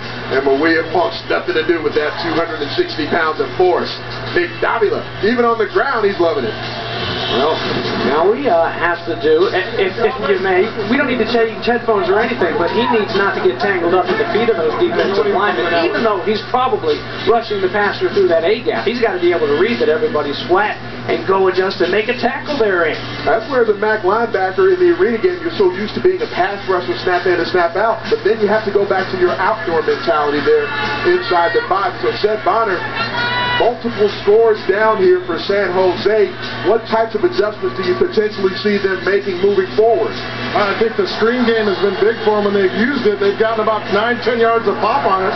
You got to get the ball out of AG's hands early and allow them to get comfortable. They haven't been able to get in a rhythm because of that pressure that that defensive front from the Rattlers have put on them. I love the point that Sherdrick just made right there because the three-step game and the screen game can be so key. It can still lead to big strikes, but you got a quarterback who's been under pressure constantly throughout the game so far. Take some pressure off of him. Remember, Mervyn Brookins, deep to receive this one at a 58-yard return for a touchdown with 20 seconds remaining against Orlando last week. Going to happen here, though. Time has expired in the first half, and San Jose will take it to the halftime locker room, looking up at a 21-point deficit, and it hasn't even been the Nick Davila show. It's been all about that Rattler defense. Sensational first half of play. You mentioned it hasn't even been the Nick Davila show and they really haven't needed him to because the defense has been so opportunistic in the ball game so far, and even in last week's game against Orlando, every one of the defensive backs had an interception, and Sherdrick Bonner right now is going on the field by SaberCats coach Darren Arbet. Hey, coach Arbet, tough start to the game. You guys were able to fight back. What's it going to take for you guys to keep pushing back and get involved in this game? We just have to take care of the football, get pressure on the quarterback, and just stick together. Up front, it seems like they're getting a lot of push. Are you guys going to change anything up, maybe go slide or do something different to try to help the front? Yeah, we're going to go talk about that. We're going to give them some different looks, and we just have to be firm up front. Good luck, Coach. Thank you. Thanks. Guys. Thanks, Ed. Trailing by 21. Snake bitten a little bit. These SaberCats here in the Snake Pit. Back for the Net 10 Wireless halftime show on CBS Sports Network right after this. The average 401k will run out of money seven to eight years into retirement, according to the Employee Benefit Research Institute.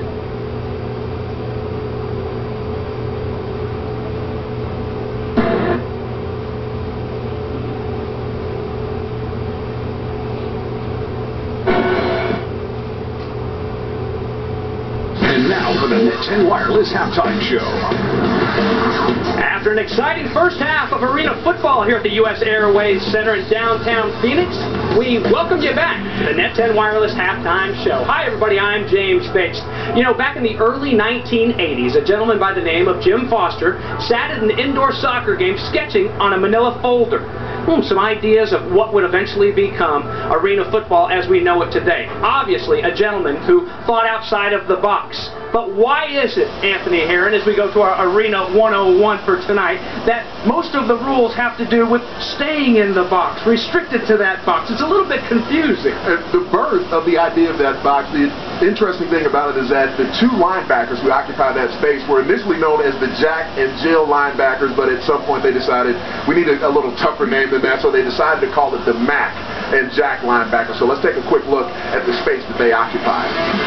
The depth of the box is important to note because they can only operate five yards deep. The Mac always lines up to the guard side, the Jack opposite him to the side of the tight end. Now the Jack linebacker, he's allowed to work laterally, getting outside the edge blockers, and that's where you see him working underneath routes into the passing lane. But the Mac linebacker, that's who's going to blitz the majority of the time, allowed to operate in either A gap. So especially in a situation that where there is no one blocking the Mac linebacker, it's going to cause a headache for any quarterback around the Arena Football League. So the Mac linebacker is your blitzer, the Jack linebacker usually in pass coverage. The depth of the box, like I mentioned, five yards for each guy. Width of the box for the Jack, extending sideline to sideline. Mac linebacker bringing headaches towards the middle of an offensive protection, and the Jack always to the tight end side. And we use those terms a lot, James, so it's interesting just to allow people a look at what those linebackers do and how they get to operate. Yeah, that definitely was a Mac and not a Jill linebacker. JJ Raterink and James Bryant last weekend for you. Now remember, if you see a Jack on a sack, it's just a tackle because the quarterback was outside the box, and then all rules are off. For halftime when we come back to Phoenix. Draymond is uncomfortable.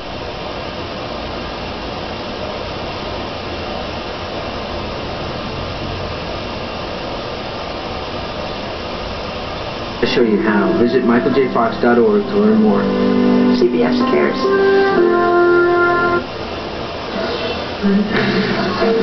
Back here in Phoenix for the Net 10 Wireless halftime report, and in the Valley of the Sun, the hometown Arizona Rattlers, the hot team tonight, 49 to 28 our score. Well, off the top of the show, we promised you the two best in arena football going head to head here in this Western Division. Arizona has held up their end of the deal, not just offensively, but defensively as well. They are attacking that football. Without a doubt, and not only on the defensive side of the football, but what Arizona's doing offensively, Nick Davila, the way he's playing at quarterback, we've seen it so far this season. We've seen it over the last few years, and there's definitely some other action around the Arena Football League that took place last night, and it's going on tonight as well. Let's take a look at a few of the scores around the AFL. Well, also last night, another undefeated matchup in Spokane taking care of business and proving that this is perhaps the best division in arena football, easily beating Iowa in Iowa. Also last night, it's San Antonio falling to Chicago. Chicago Chicago getting their first win. Jacksonville and Philadelphia winners as well. Tampa Bay and Utah just starting right now. Jacksonville's looking pretty good right now as well. And Utah's going to need a big performance tonight. They struggled a bit. Tommy Grady, their quarterback, we referenced it a little while ago. They're going to need a big performance from him to try and prove whether or not he actually is healthy yet. One of the big storylines in the league. Well, Tommy Grady, a guy that you had third of your top five quarterbacks in the AFL, they've been killing you on Twitter. Give Eric Meyer some love. My goodness. And coming into this week, just to note, the list of the top five quarterbacks was through two weeks. And as you mentioned, yes, I've been getting killed on Twitter. 24 touchdowns, zero interceptions for Eric Meyer. If he can stay healthy, he certainly is going to be an MVP candidate. Tommy Grady, conversely, JB, I mean, he's a guy who we've seen what he can do statistically, but so far this season, six interceptions off to a very slow start after a record-setting season last year. For another big game that's taking place tonight is Doug Plank getting to face his old team. He led the Philadelphia Soul to the Arena Bowl last season, and after an Arena Bowl 25 appearance, he's coaching the Orlando Predators tonight against that Philadelphia Soul squad. So certainly people are intrigued by what Doug Plank is going to be able to do against his old outfit. Well, Plank and the Preds move to 0 and 3. They lose a tough one to Philly, who balances out their score after the bye. Remember, they lost here in week one. We'll be right back.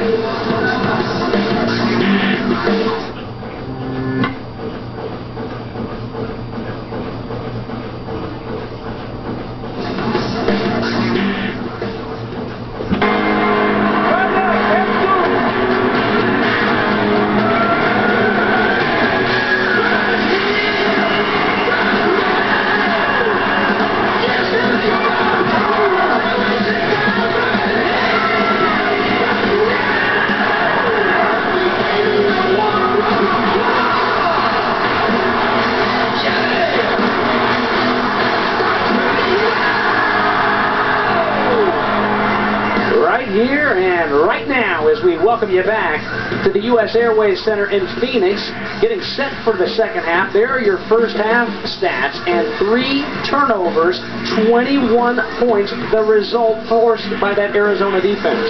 An extremely opportunistic Arizona Rattlers defense. They've got ball hawks throughout the entire secondary, people with accolades around the back end. Arkeith Brown, Virgil Gray, Marquise Floyd, Jeremy Kellen. These are guys who are playmakers and could be the headliner in most of the secondaries around the AFL. And Kevin Guy's been able to bring them all together on the same team. Well, back at the hotel getting ready for tonight's matchup between these two bitter rivals. The three-way tie for first place in the Western Division was watching the lead-in to the Final Four on CBS. It was a great job by so many greats throughout the years in college basketball. Bill Walton comes on and says champions, they don't wait for their opponents to make a mistake. They attack, and that is just what this team, coached by a Coach Guy, has done. He's with Sherdrick right now. Coach, talk about the efficiency of your offense and defense all around. What are your thoughts on that first half? Well, our defense made some big plays that gave us a little kickstart there, and offensively we've been real efficient. So uh, we just got to keep it up, keep our foot on the gas pedal. We expect them to onside kick a lot in the second half, so we got to be dialed in on our special teams. Guys? All right, thank you, Sid. Coach Kevin Guy will send his defense out. San Jose not electing to onside kick the first try of the second half, and here comes Nick Davila.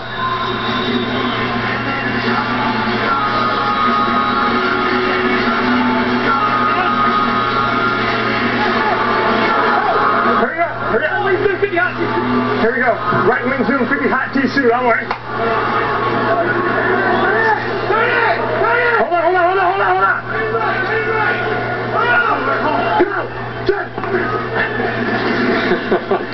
Making sure they don't get their third penalty of the game. Swinging it out to Armstrong. Armstrong's got two on the ground. Can he get it through the air? Yes, indeed. Look at the big man. Go.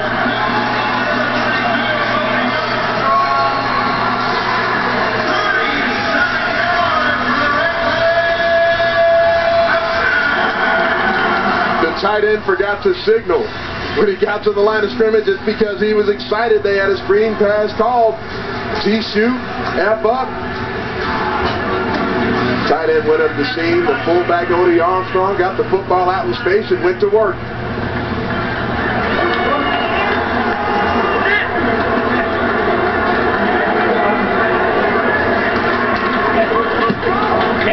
Point is good, and just like that, it's 56 to 28. If that's what happens when this Rattler offense is not all on the same page, oh my goodness, watch out AFL.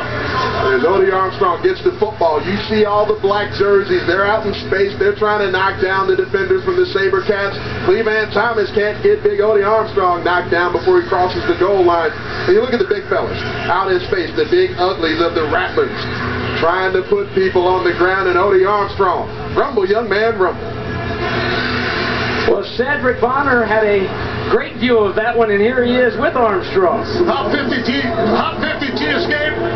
Gets you the ball in the shoot. You're approaching over 60 yards of reception. Did you feel that coming in tonight? Well, we knew the game plan, how they like to rush, and we've been great play calling all night, great blocking by the teammates, and it's all been wide open tonight. Have the guys up front been helping you out as far as running the ball? Do you appreciate having that those big linemen up front? Oh, absolutely, absolutely. We got big physical guys, and uh, they open up the holes for me, pretty much walking in every time. There it is. Thanks, all. Ant, that's the playmaker, Ant. The old specialist now. He said at 265 pounds, it, he did a good job of, of conducting that interview there. You know, usually guys are out of breath. Even the little guys after running that far. He was breathing hard, but he was disguising it very well. I know how he did it. He was disguising it very well. It was like one of those Olympic track interviews. You know, the track star, 265 pounds, Odie Armstrong here tonight, off the net and off and running. No whistle yet. Finally down to cross midfield is Brookins. Well, for the Rattlers, it's been Odie Odie all come free. Through the air, 36 yards back in the first half. And a nice stiff arm at the end, and then followed up by two rushing touchdowns. This just shows you the full arsenal that is Odie Armstrong because these are the fun plays to look at, but he still does the dirty work. He still is willing to sit in there and pass protection, take that MAC linebacker on, snap in and snap out, and that's why Nick Davila looks so comfortable. I told him stop carrying the game. Garcia is hit as he throws, and a great job by Gray. Gray coming back underneath it to knock it down. Intended target was Willis. There is a flag, maybe a late hit coming up against Garcia.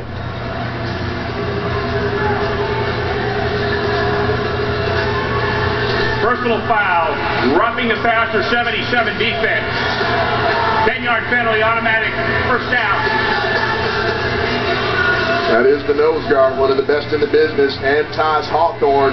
He was an All-American for the Wisconsin Badgers. He was able to bring some pressure right there in the middle of the pocket.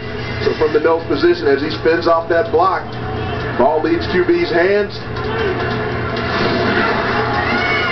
Picks him up and puts him down, doesn't he? Here's Willis. He's hit hard, and it's a helmet to helmet as he was tied up. Great comes down low, and another defensive back up high, and that one to the head, so it will be a penalty on back-to-back plays by Personal Arizona. foul, unnecessary roughness. Number 19, defense. Hit above the shoulders. After this to the goal, automatic first down. The difficult thing about this call on Marquise Floyd because Murphy Gray has the receiver wrapped up. It is a violent looking hit, especially when you replay it, you look at it in slow motion. You want to see the defensive back come in with his eyes up, come in seeing what he's hitting. That's where the plays end up getting pretty dangerous, but I don't believe it was a cheap shot attempt from Floyd.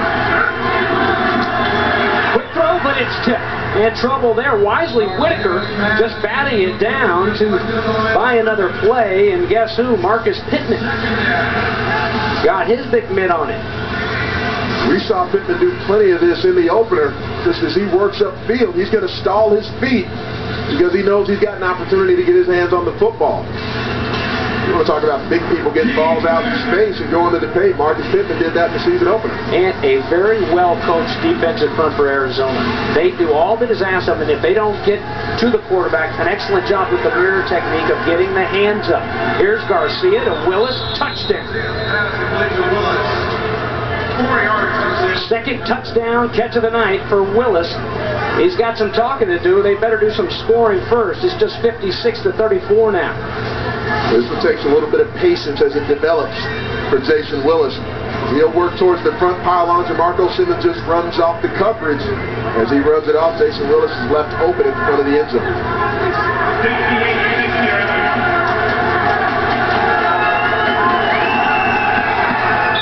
Extra point is good. It's 56 to 35. Lead back down to 21. Well, some talk for Gray after this touchdown catch, but a 21-point lead by Arizona has Gray saying, "What are you talking about, Willis?"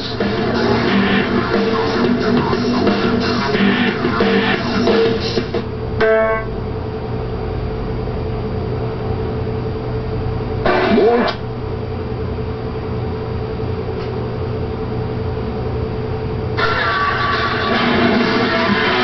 Net 10 Wireless hit of the game, it's Cliff Dukes, who played the stud end position as a 258-pound defensive end at Michigan State. He weighs 290 now, and he's still a stud. He's got your Net 10 Wireless hit of the game. I felt that one, JB, and I did not like it. That was about a 6.9 on the Richter scale, just weighing heavy on a QB. Made Garcia look like a rag doll there. Just folded him up like a piece of paper underneath them. And we could have taken a few plays to make them our hit of the game, and a lot of them coming from that defensive front who has been phenomenal, putting the pressure on a great quarterback in Garcia tonight. Here's Gray off the net. Gray gets a nice block from Pittman, and a flag is thrown. Kellum on the hold rather thought he had a nice block to spring him, but he was peeking over his shoulder the whole time because he knew that he was guilty of a hold. This one's coming back. During return holding on the receiving team, number 20. Penalties after this to the goal. First down, Arizona. Virgil Gray. He was all Atlantic 10 coming out of college before he was ever all arena. He's an angle leader. With the kind of speed that he has, defenders think they have an opportunity in coverage, and he just hits another gear.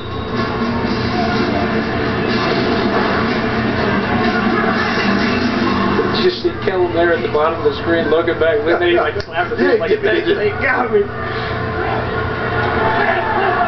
Just more time for the offense to work here. Here comes the lefty.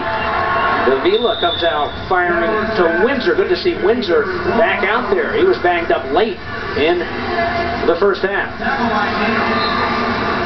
See if we can listen in, hear this conversation. Hey, hey! Five step on one, five step on one. Right up. Let's go fishing on one. Hey. Let's go fishing.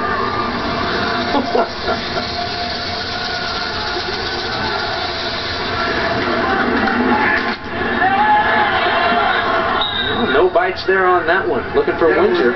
J.C. Neal was right there in his hip pocket. with a big hit on Nick Davila. This is the type of pressure that can potentially change the game for this SaberCats defense. You're going to see it coming right in your homes. Four, five, five. On one. Davila, after that hit, says, forget fishing, let's get back to football plays. Read in motion.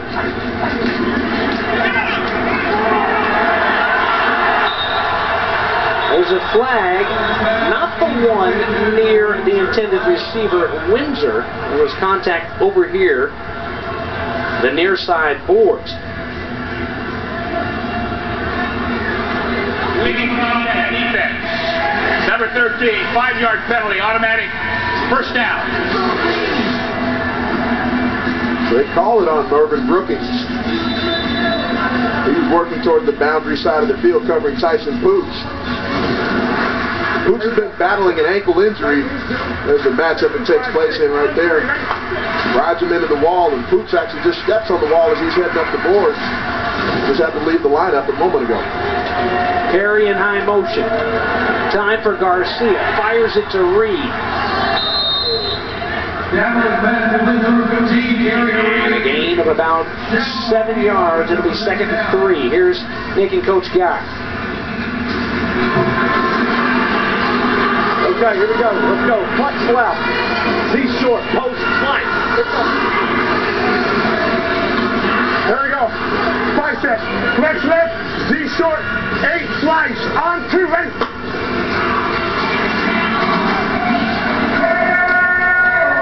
The slice route concept. The inside receiver's going to work a dig. Thrown too short. Looking for Perry. They're coming, coach. All right, here we go. Let's go. Right, Z right. Yeah. Z zoom. Follow one. Here we go. Here we go. Three steps. Right. Z zoom. Follow one. On to right. Well, there's the play call on what is the first third down of the game for this offense. Looking for Reed. Good coverage by Neal. No flags. Hometown fans want one, but won't get one. Oh, check that. That's Clevan Thomas.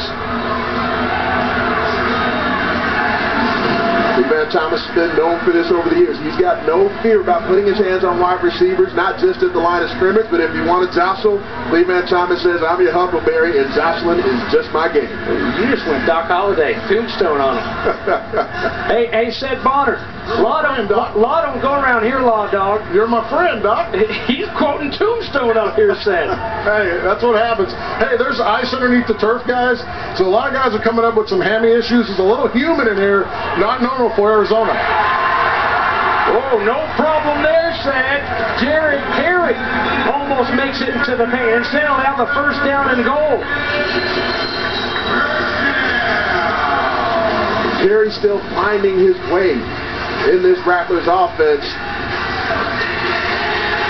Route running early in his career, especially last season as a rookie with the Chicago Rush, struggled with that at times. An extremely explosive athlete is Jared Perry. Ran a 4-4 at the NFL Combine. The freshman All-American for the Missouri Tigers.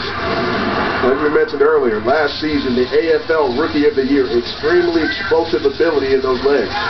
Well, Disney on ice, not the Phoenix Coyotes. The reason for the ice underneath the turf here that said mentioned, the Coyotes used to play here in the U.S. Airways Center, but they've moved out to Glendale, where the Phoenix Cardinals play. Five-yard penalty remains first down. We've seen a couple of those things where Jared Perry, I mentioned the explosive ability that he possesses, but as a young football player, you still see some of those inconsistencies, kind of the perfect imperfections of a young and talented football player. There was a moment earlier in the game, took his eyes off the football before he pulled in the catch where he had an easy touchdown coming up. Garcia stands in there strong. He's taken down. Here comes a flag late near the carnage that has Davila and a couple saber tooths in it.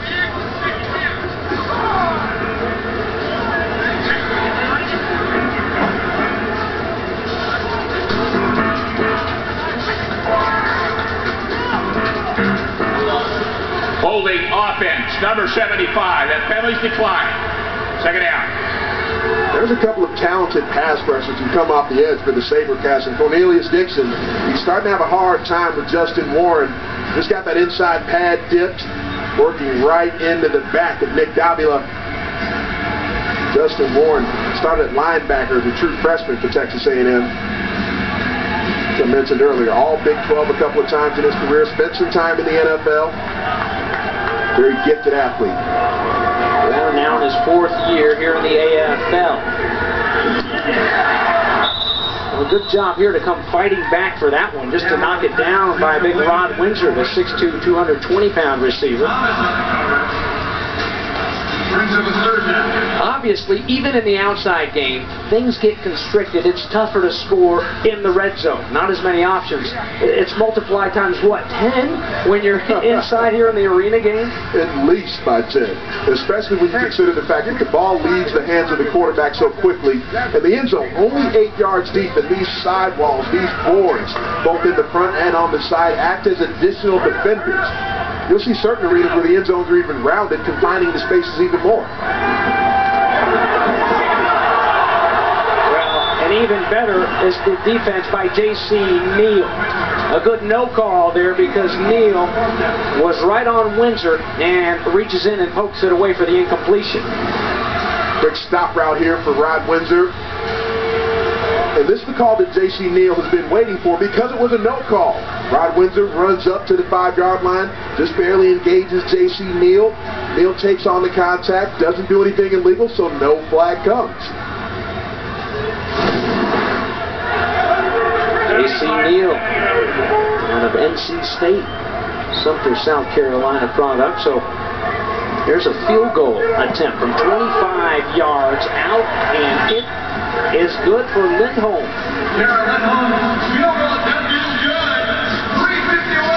Well, first field goal attempt is a good one for the Rattlers, 59-35.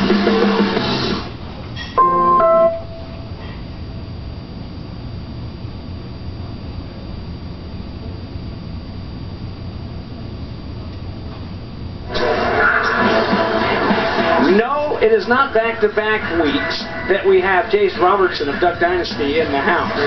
We be sure to catch Universal Pictures Fast and Furious in theaters May 24th coming at you. It, it was it was close the beer to Duck Dynasty, but you know here note to self: if you ever become a hard grizzled biker, don't eat pretzel bits in public.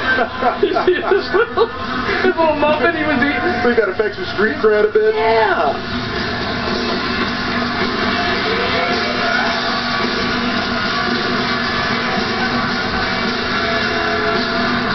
There's Lindholm to boot it away. Lindholm, one of the better tacklers from that kicker position in the league. He may need to help out a little bit here. Brookins is dangerous. There is a flag down.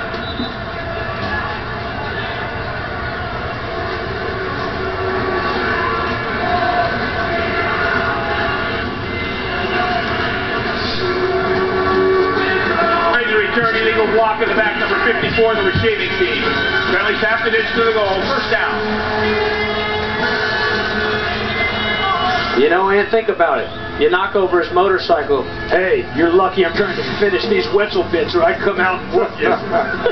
Whoa, look at that. Beard's all over. And we've got another beard. The commissioner, Mr. Kurz, when we come back.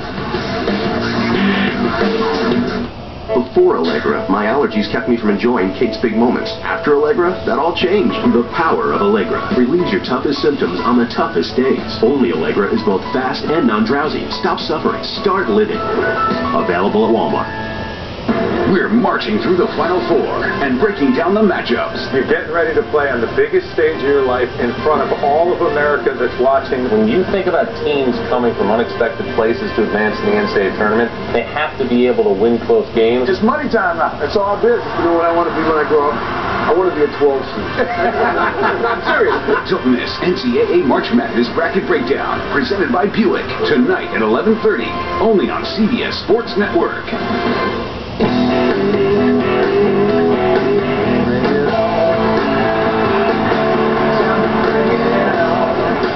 For the PBR Built Ford Series, Sunday at 8, only on CBS Sports Network. The average 401k will run out of money seven to eight years into retirement, according to the Employee Benefit Research Institute in Washington, D.C. Tax increases or another severe market drop could wipe out your savings even faster. Millions of Americans are going to run out of money right when they need it most, when they're no longer earning an income. You don't have to be one of them. We have a free video that shows how the wealthiest people in America create tax-free lifetime retirement income without ever losing a penny in the stock market, and how you can too. Call now for this free video. You'll also receive a free analysis of this retirement vehicle tailored specifically to your needs, and a free comparison to your current plan. If you're 25 or older and don't yet have a plan, you need to start one now. Don't wait until it's too late. Call now for your complimentary video, analysis, and comparison. There's no obligation, so you have nothing to lose. Call now.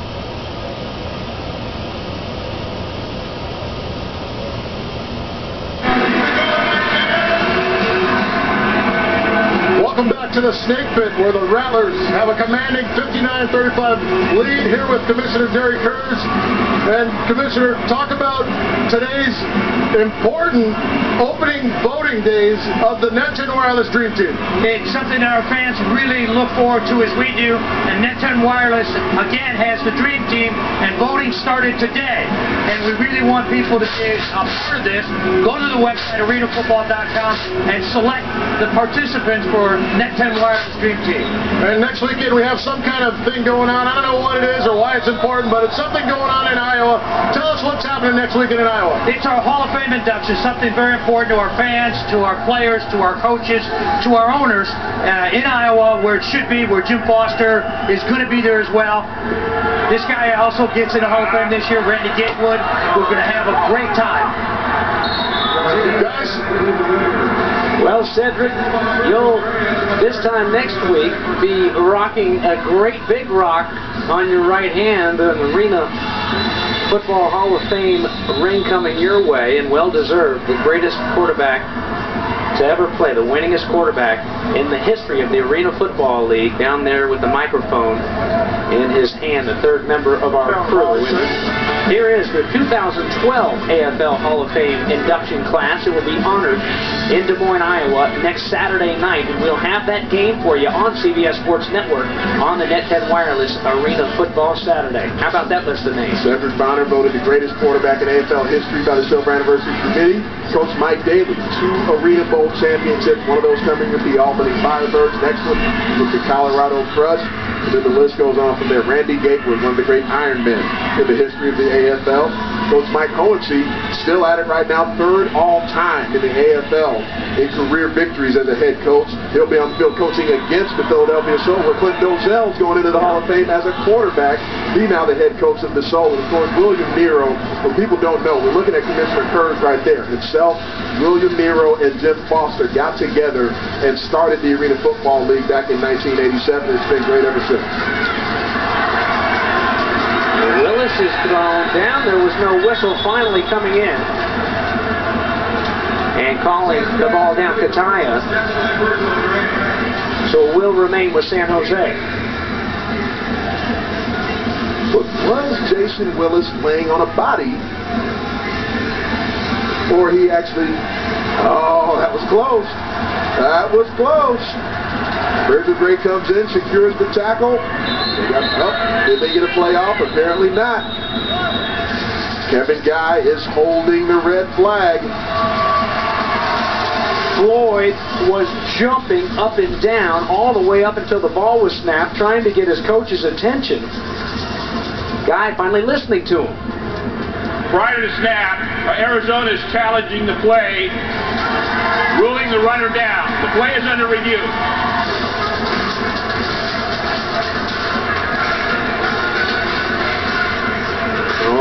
You called it up here too. Was he ever down on the turf? And here Coach Kevin Guy wants to review it, and as Dave Kataya walks over to the monitor, we'll listen in for our Net 10 wireless call to the booth.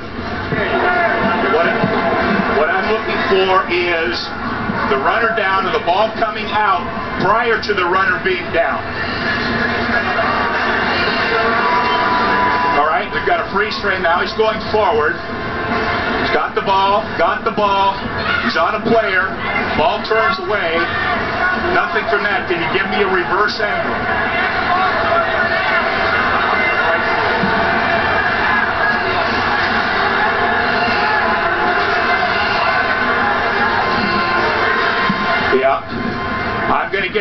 That's going to be stand so far. Give me another angle because I can't see that knee whether it's down or not. We're looking for the ball coming out before the runner being down. Is this your last angle? All right, we're going to go with stands because I can't see the play all the way through. Okay. All right, go ahead, roll it.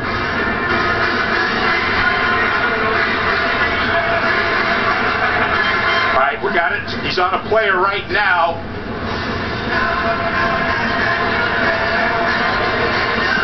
All right, roll that one back for me again. What we're looking for to see if he's on a player, if he's on the ground. I can't see the knee on that. All right, we're going to go with stands.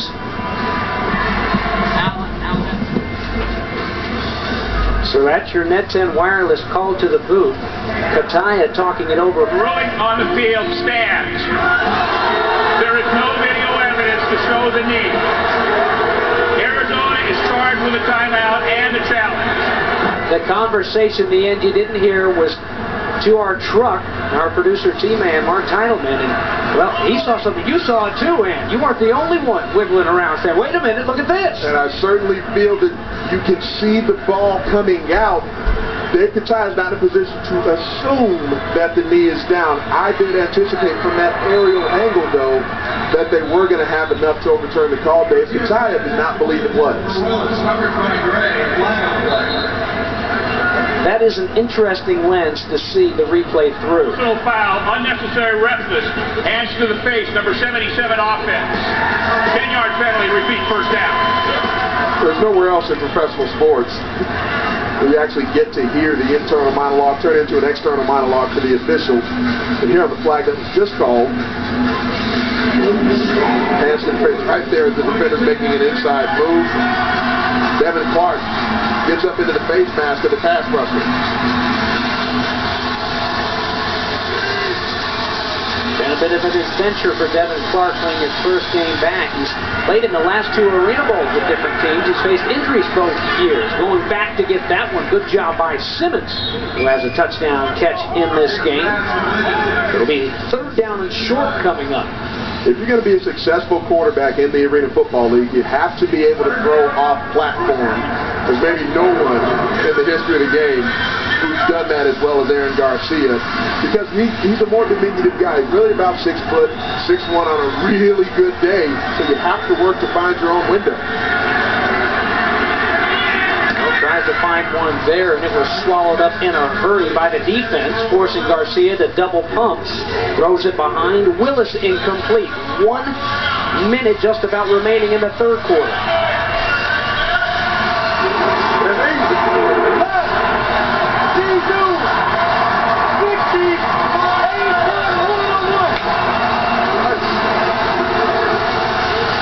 Oh for 2 on fourth down tonight. The Sabercats, two interceptions thrown on fourth down for this offense.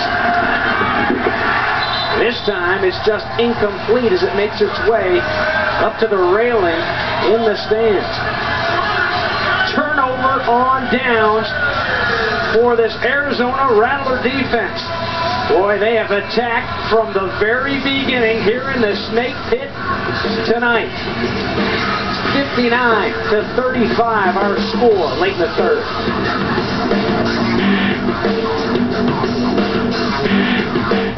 Hi, I'm Kyle Chandler.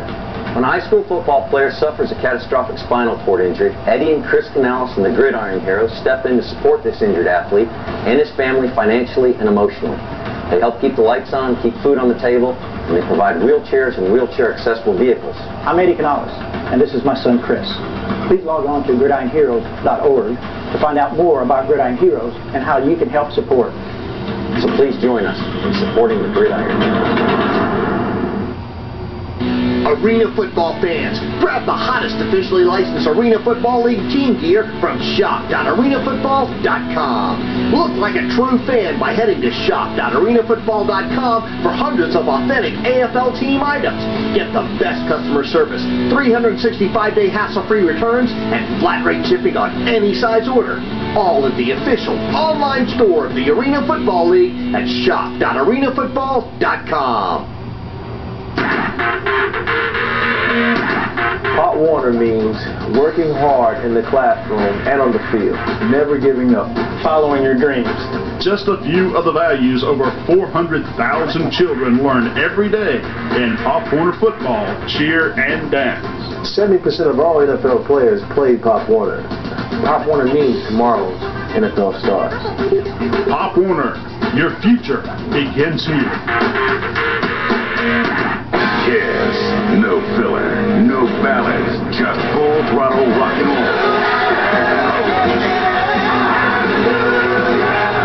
Monster, the brand new album from Kiss, featuring Hell or Hallelujah.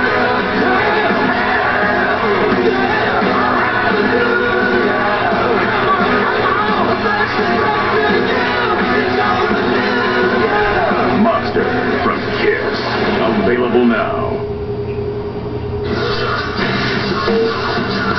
Back here on the Net 10 Wireless Arena Football Saturday in Phoenix, our out-of-town scores in Week 3. We had two games yesterday, and the Shock staying undefeated on the road in Iowa against a then 2-0 Iowa Barnstormer team. How about Chicago getting their first win? About time for the Chicago Rush to get one on the board. Jacksonville moving to 3-0 today. Oh, Brookins was backpedaling and he was stuck. Reed was into that comfort zone where you need to have been turned two steps prior. Got lucky there. Kerry Reed went to fourth gear. He could have just gotten to fifth gear. Would have had an opportunity at that ball. We just showed some of the scores from around the league. And you folks at home, you can see the hashtag AFL on CBS. I'm getting murdered on Twitter because I didn't have Erik Meyer in my top five quarterbacks. Take you inside the Velvet Rope, folks. My top five was submitted about two days ago. Don't worry about it. You guys maybe use an update. We'll see. He's a big guy. He can take it.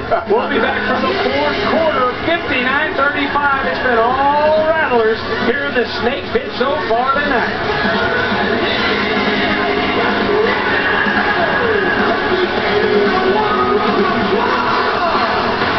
Talk truth. When buying a car, there is one essential question. What should I pay? The problem is that pricing information is everywhere and from more sources than you can possibly study. That's why TrueCar collects it and analyzes all of it so you can recognize a fair price. Then TrueCar partnered with thousands of trusted dealers that offer guaranteed savings without negotiation. So when buying a car, get guaranteed savings. Visit TrueCar.com. Fires can get out of control quickly, but fire extinguishers can cause an even bigger mess. Not anymore. Introducing Knockout 360, the best way to stop a fire quickly and mess-free. If you had a fire in your kitchen, would you know what to do? For a grease fire, do you use water or baking soda?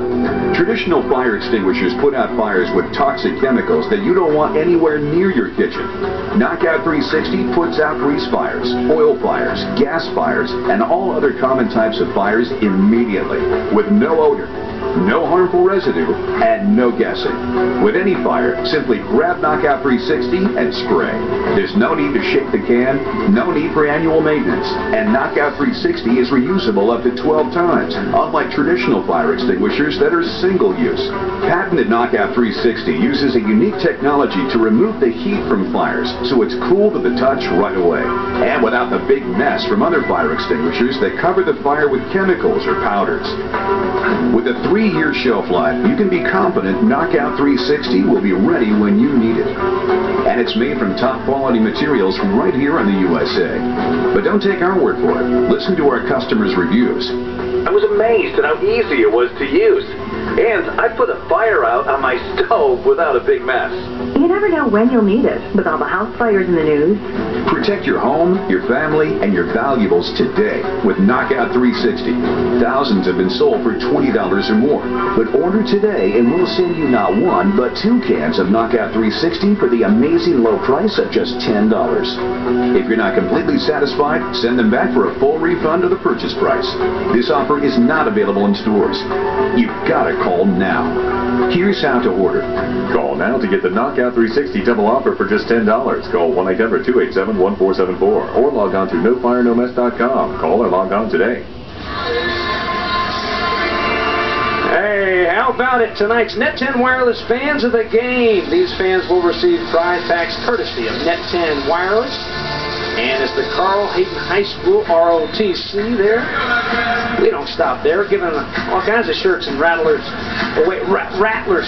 That's been on me because I've been saying rattlers. The guy from the South should get it right, right? Rattlers. You've been putting about five syllables in the, the uh-huh. word rattlers. Just trying to take a little bit of the pressure off you you're getting from the Erik Meyer. It'll start beating up on me. Those goal line bandits and all the Spokane Shock fans, they're extremely excited about the 3-0 start, and they should be.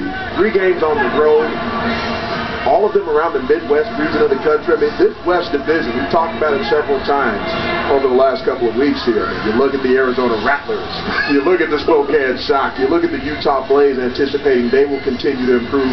And of course, the San Jose SaberCats, although they're being bested by the best team in the Arena Football League right now, but the SaberCats, I believe, are going to be right there in the hunt as we get to the end of, to the end of the season. Offside defense. So that was about a three-minute conference, and we got offside defense. Okay. Offside defense number 20. Ah. That is his second foul. Five-yard penalty. First down. As we saw those scores before we went to break from last night, Chicago getting their first win over San Antonio 48 to 41. Now remember the last time they started 0-2, they ended up winning at all, the Arena Bowl championship in 2006, Arena Bowl 20. So there's a lot of football to be played there on the 50-yard war on the floor. But the Rattlers, after all, are the defending champs.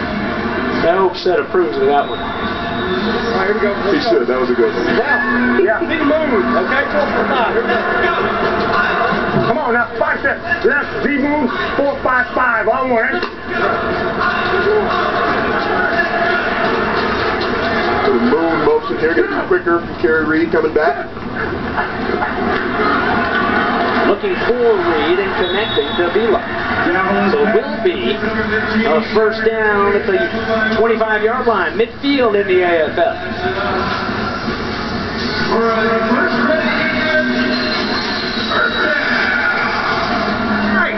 Z-Loud, wing short, A3 ring. Here we go. Five step, bottom, one.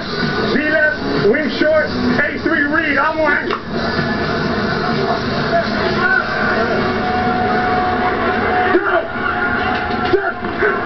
This time it'll be Perry in motion as they switch up. Thomas gets a good chuck on him and a nice open field tackle by Brookins.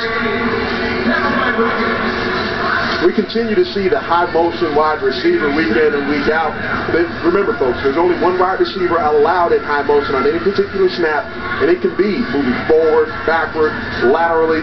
And of course, the cadence is so important, especially with the way the Arizona Rattlers do their motion. You heard the moon motion a moment ago, where sometimes you're working back, sometimes you're working all the way across the formation. But right there at the snap, the QB and the wide receiver have to be in sync with the cadence. Well, here comes number one, Windsor, into your screen. And this time, they'll stop play as flags come down. Prior to snap, offside defense number 54. Unevaded the quarterback. San Jose in the, in the bonus. That's a five-yard penalty and a first down.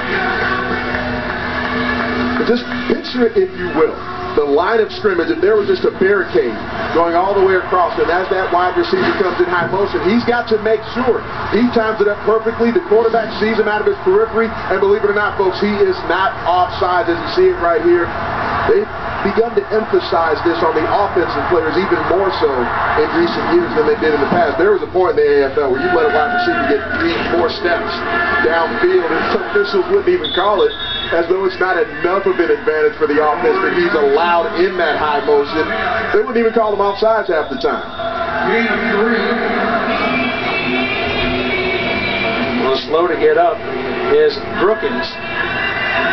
And Seth Bonner took advantage of that as well as anyone ever has. Said that high motion, how do you time it up so well? Uh, you just you want to get that little extra step, and it's just knowing your guys. If you can see them out of your periphery, periphery, as you could say, then you know you're good to go. And, and I used to try to let them get two yards. I know you said three yards, but two is enough. Three was way too much, Anthony.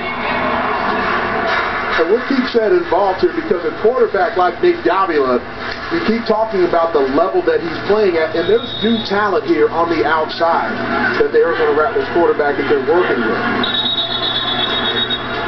Well, here Perry had a couple shakes before he got to the line. There's a few more of these Tooker flags, the AFL flag sponsor on the ground at this point. Defense, on the nose guard. San Jose's in the bonus. That's five-yard penalty and an automatic first down. Well, so from here on out, they shoot two. You know, and, now that is where the rule has changed. It was Perry in motion, but with a couple of the shakes, a couple moves before he got to the line, that's one thing they took out of the game, and perhaps they're trying to time it up, the nose guard and Stewart, with the motion man. Which, if you think about it, you're rushing, you play defensive line. Are you peeking out of the corner of your eye at that high motion man trying to get a jump defensively? Without a doubt, you're attempting to time that motion up so you can get the best jump off the snap. Firing one back shoulder. Davila to Reed, the big, strong-bodied receiver, fights off the defender and goes back and gets it with one hand. Defense, Mac linebacker is out of the defensive box. That penalty's declined. Touchdown. Nick Davila went from being a junior college All-American to being a starter for the Cincinnati Bearcats. And now he's had success in the Arena Football League for a number of years at the AF2 rank, winning Arena Cup championships with the Spokane Shock. Now, an Arena Bowl MVP, and we see him on a path right now, cementing himself against a guy who he may not call him his idol, but another Latin quarterback in the AFL and Aaron Garcia, who's accomplished so much, and Nick Davila now supplanting Aaron Garcia as the number one QB in the AFL. Extra point is good, and it's 66 on the board with a lot of ball left to be played. It's wide receiver Kerry Reed, not Jerry Reed, but Arizona is loaded up and trucking. Before Allegra, my allergies kept me from enjoying Kate's Big Moments. After Allegra, that all changed. The power of Allegra relieves your toughest symptoms on the toughest days. Only Allegra is both fast and non-drowsy. Stop suffering. Start living. Available at Walmart.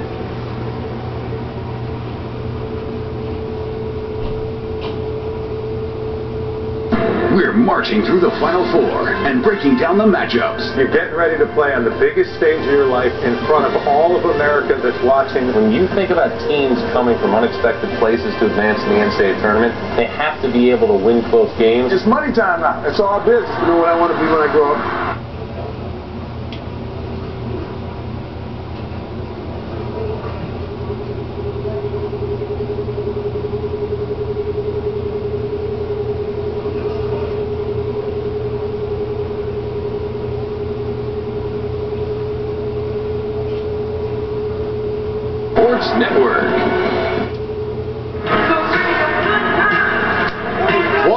The Snake Pit where the Rattlers hold a 65 to 39 lead. Talking about the Tooker flag and the partnership that was developed this year. You see these commemorative flags. They show the date and the game. These go on auction immediately following the game. So log on to Arena Football and find out how you can get yours. Guys? All right, Sid. Immediately after the game, that's going on auction. Don't pocket it. I'm wondering if, if Sherdrick Bonner, did he swipe that flag from one of the officials? I mean, how do you really get your hands on a Tooker flag? And I'm assuming he's not logged into arenafootball.com right now. I wonder where he got that from. Oh, well, now he's empty-handed. Apparently the official came and swiped it back. All right. Well, Seth Bonner, big, big night for him tonight. Hard to get any work done down there. Everybody wanted to come pat you on the back. Won so many games for the hometown team. Arena Bowl championships. Inducted to the Hall of Fame, as we mentioned, next weekend. Oh, off the tight part of the net and flying down there to cover is Marquise Floyd, who started the scoring in this one with an interception return for a touchdown, almost gets it back to Arizona. Now, Arena Football Hall of Fame next week for Seth, but it's not the only Hall of Fame that he is a member of. Back in 1998, Cal State Northridge well, they admitted one of the greatest to ever play, not just football, but get this, also lettering in basketball, volleyball, and track and field as well. No, that's not Reggie Miller. That's just a young Seth Bonner. Look at it. Wait a minute. Did you say volleyball? yes, volleyball. Hey, that just shows my athleticism, Anthony. Don't be jealous, man. Okay? Just because you just got to do the fat man relays at the track meet, relax, relax. Here, I've got I've got my notes on you, Seth. He was the outside hitter for the men's volleyball team in the 1991 season, and he took first place in the high jump three times. There was a point where those knees could handle a high jump? Yeah, well, I didn't have 245 pounds. I had about 195, 200 pounds to go over the bar. It wasn't that heavy. 165 soaking wet. There is no way I'm looking at those pictures thinking he was 195. Well, that was my senior year. My freshman year, I was 6 feet 1, 159 pounds. and, I, and, I, and, my nickname was Manute Bol because I was so skinny. oh. I believe it. Oh, sad. Sad. They showing us the ropes where the good Vittles were in Arizona last night. And here's Simmons. Simmons a nice run after a catch, fighting hard, diving inside the 10-yard line. You see the Sabercats going into more of a hurry-up mode now. They're down 31 points, trying to do everything they can to see how many possessions they can rack up throughout this fourth quarter.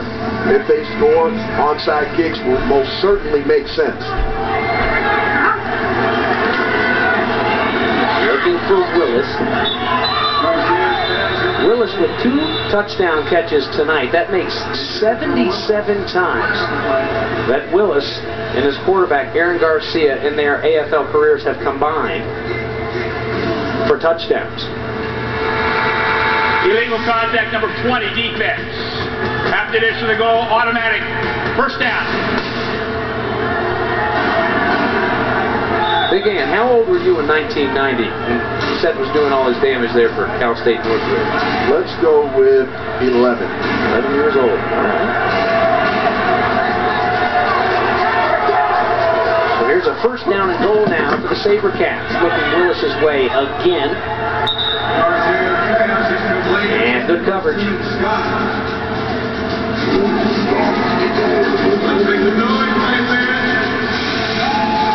Already three interceptions on the night. All of those in the first half for Aaron Garcia, but he's going to have to take some chances here throughout the fourth quarter. Who knows? It may lead to another interception. But if there's any opportunity for the San Jose Sabercats to get back in this game, they have to score. They got to score fast. Here's Simmons. This time with the handoff.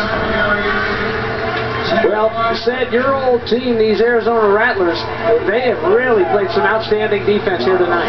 I'm telling you, dominant, dominant defense, and inside the red zone, they make it tough. And it's where Aaron's had some struggles over the years, and, and that's why people tend to onside kick him. Get him down in this red zone and make it tough for him to find the throwing lanes, tough for him to find his receivers. With these giant defensive ends, it's a good play. Bolter's back at the fullback spot to block. his ball is live. Almost intercepted and knocked away at the last second. Wow, did Brown ever pay the price? He had his hands on it for just a moment. Immediately, was smack jarring the ball loose. Watch this. Uh, DeMarco Simmons was an All-American as a wide receiver at Western Michigan, but he's going to look like an All-American safety right now. He made sure that no one in the Arizona secondary had an opportunity to catch that football off the net. I beg your pardon, it was Floyd who took that shot. So another shot, but it's fourth down for Garcia and company. Floating that one over the middle to Simmons, his second touchdown, catch of the night.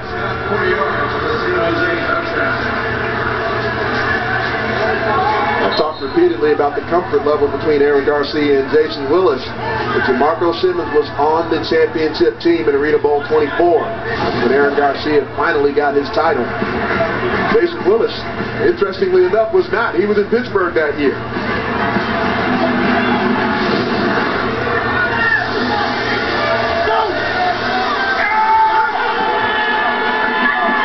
So electing here to throw it for two and almost taken back the other way. Garcia again takes another shot as he lets that one go. DeMarco Simmons, his head coach Darren Arbet, says he practices so hard I wish I had a hundred of them.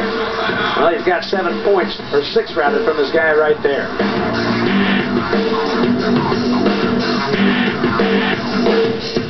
Talk with them, not at them.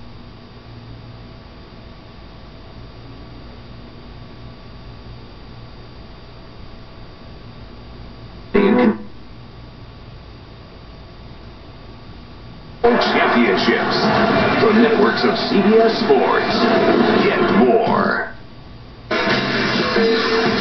AFL fans, this season culminates with the ultimate prize, the Arena Bowl 26 in Orlando, Florida on Saturday, August 17th. Arena Bowl 26 will be broadcast live on CBS leading into the third round coverage of the PGA Championship. You want tickets, Ticketmaster.com is the place to go. Garcia and Davila here tonight, the last two Arena Bowl MVPs.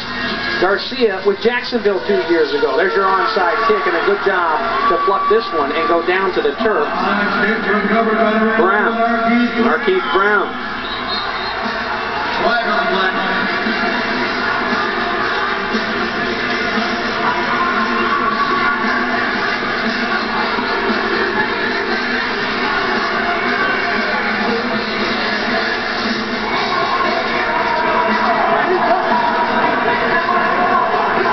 Is it a hockey puck or a can of dip wrapped up in that flag? Those special flags are given away. That's, I hope it's not a hockey puck. That'd do some serious damage if thrown near the puck. That's a valid question. We'll have to ask Mr. Turner. Illegal block below the waist on the receiving team. That's a 10-yard penalty. First down. Maybe it's a, a street hockey puck.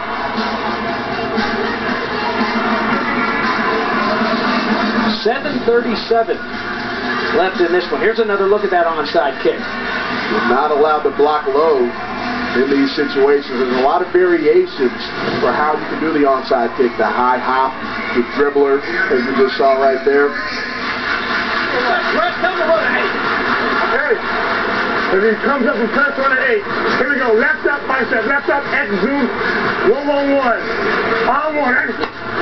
Yeah.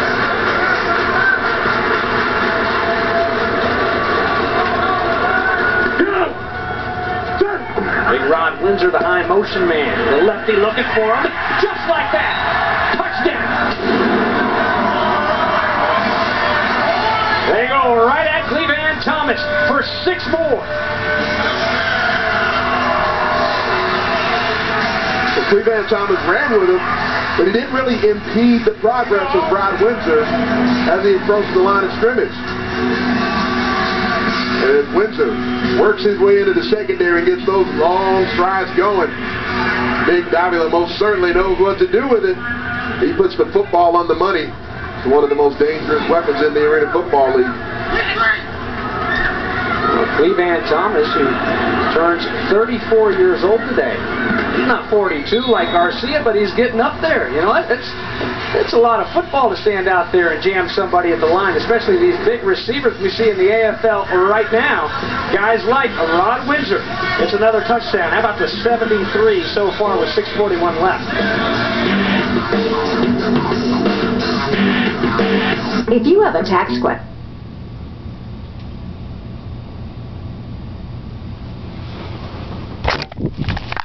for you all year round, and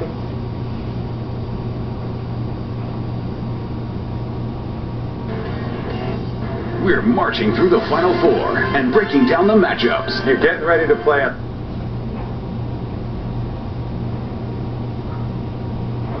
Brought to you by Net 10 Wireless. No contract wireless on America's best networks. This is what you do downtown Saturday night in Phoenix. Well, young man getting busy.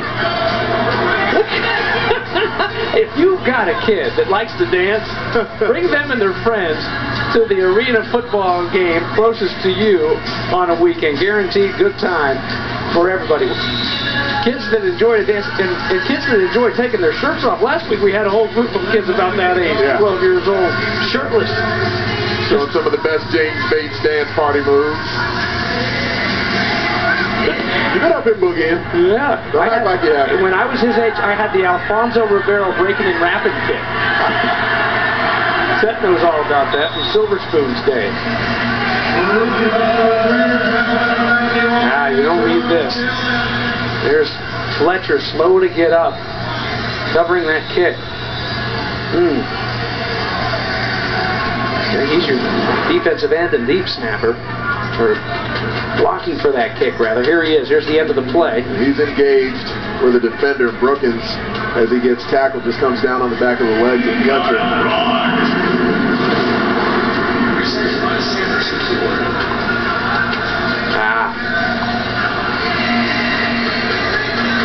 It's, it's all part of the game. You know, last night Spokane, they had the big win on the road at Iowa, but they lost a, a couple big players, a couple receivers.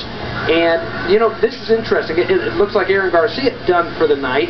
And here comes a name that most college football fans recognize, and Mitch Mustain, former Arkansas Razorback and USC Trojan.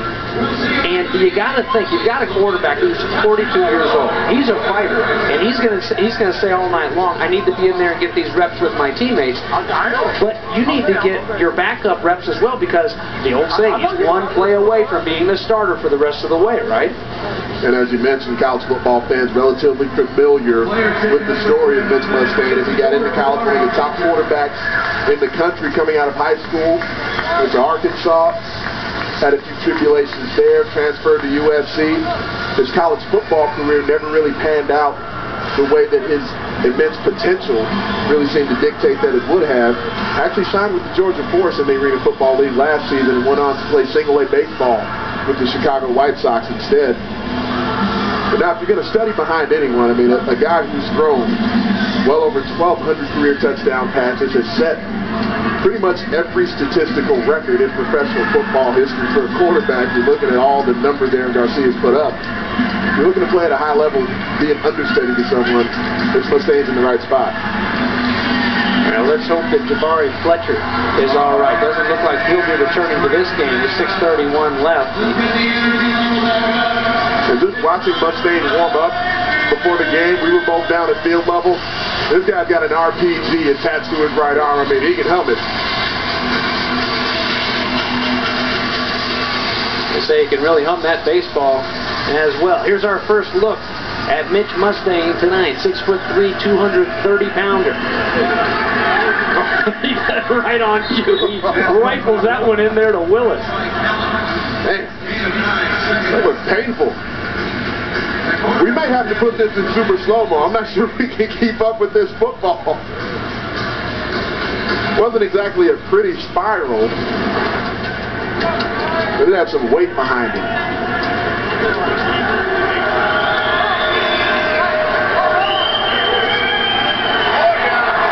His first hit as coming right up the middle. Glasper, the MAC linebacker. Nobody touched him.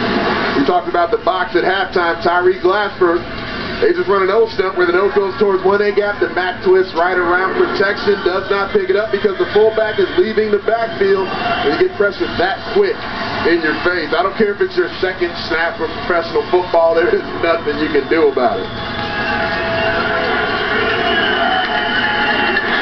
Looks for the quick throw this time, and there's a souvenir. Seth Bonner guys go away with this from this game, what do you do tomorrow to improve yourself? Well, I mean, we got a bye week, which is probably the worst thing because we got to we got to live with this for a week. Can't really do anything next week to get back on track. But I mean, the main thing is we got to stay together and, and hold the course. It's a long season. You know, uh, I mean, these guys lost a lot of ga- or lost games during the regular season last year, came back and won the championship, and that's how this league works. So we got a long, long way to go. We got to just continue to get better. It's early week three. You guys got, as you say, a long way to go. How do you like the makeup of your team? Have you seen the right things from your guys in this kind of situation over on the bench? I mean, it's you know we're, we're going to be two and one after tonight, and uh, that's I mean that's not a bad start. It's not where we want to be. We want to be three and zero. It didn't happen tonight, but I mean the group here, the guys, the players, you know these guys are stuck together, and this we're going to get a lot better. And, and I mean it's going to take that. There's a lot of new guys here. I appreciate it, AJ. Thank All right, thank you. All right, guys. Will said while you guys were talking, almost the fourth interception of the night, three charged to Aaron Garcia. There won't be a fourth, but a lot like baseball, Mustain, a baseball player. You know when somebody flukes one into shallow, uh, the shallow center field, it's a real ugly hit, but it looks like a line drive. The next day in the box score, that's what we got right here. Should have been intercepted, but it ended up in the hands of the receiver Williams for a touchdown. Extra point try is no good, so the SaberCats just get six. But right now, seeing all fastballs from Mr. Mustain. May need to work on a few off-speed pitches here. And that's the right decision there for Fred Williams. He had a quarterback who left the pocket, went on the double move, but the defensive back couldn't come up with it. Fred Williams goes down, clutched it right off his shoe tops. And then goes in for six. Marquise Floyd had an opportunity to pick. Fred Williams, his first game of the season here, All-American at St. Cloud State. But these two of the preeminent franchises in the history of the Arena Football League.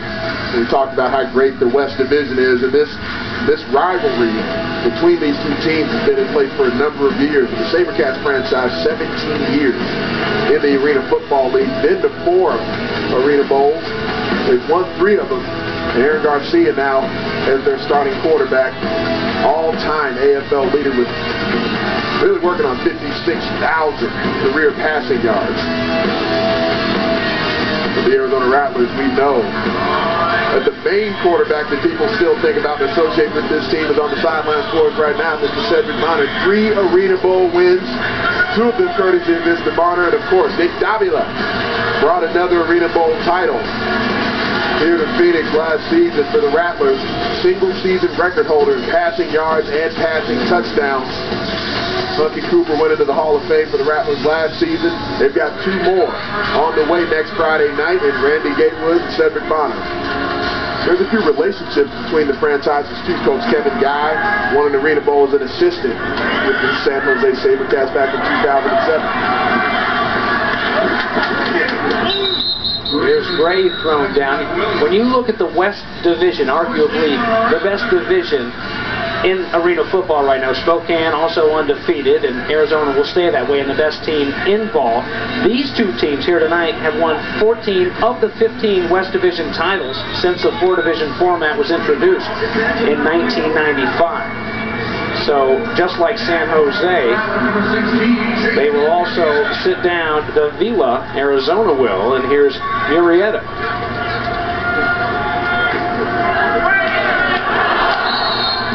And Jason's first pass incomplete. Should have been caught right in the hands of Rod Windsor.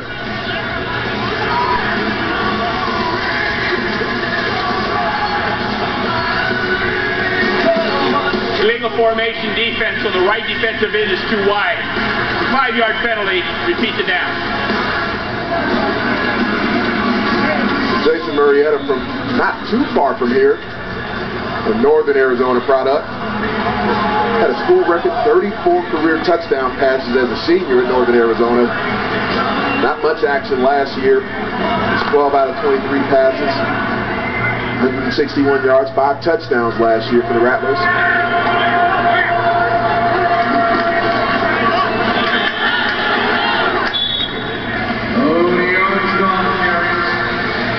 Well, as a former lumberjack hands it off to Armstrong, he's chopped down on the carry, and there are the final numbers on the night for Nick Davila. Six touchdowns, no interceptions. Had a great week last week as well against Utah. He went 285 yards and seven touchdowns. Arizona feeling pretty good right now as they'll move to 3 and 0.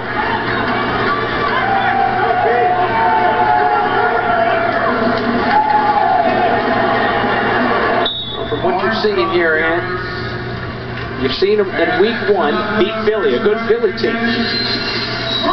And they get a win last week, a big win against another good Utah team on the road. Really handled them. Here they handled what a lot of people thought, in the coaches poll anyway, the number two team in the league in San Jose. Is this Arizona team better than last year's Arena Bowl champion team?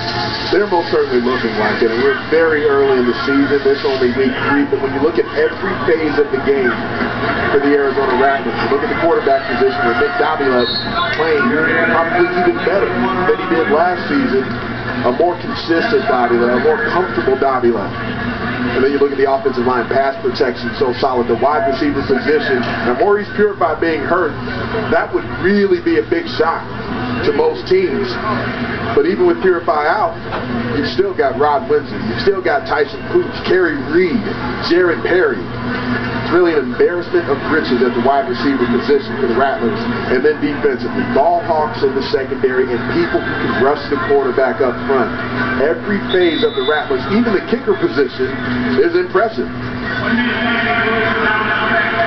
Now that'll take us to the one minute warning. 73 to 47. All Rattlers here tonight. No filler, no ballad, just full throttle rock and roll. Monster, the brand new album from Kiss, featuring Hell or Hallelujah.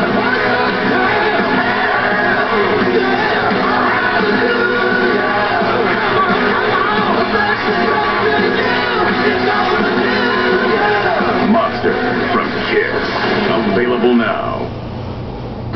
We're Rascal Flatts, and we are so proud to serve as ambassadors for the Jason Foundation and all of its efforts in addressing the national health problem of youth suicide. Are you aware that suicide is the third leading cause of death for our youth ages 10 to 24, only surpassed by accidents and homicide?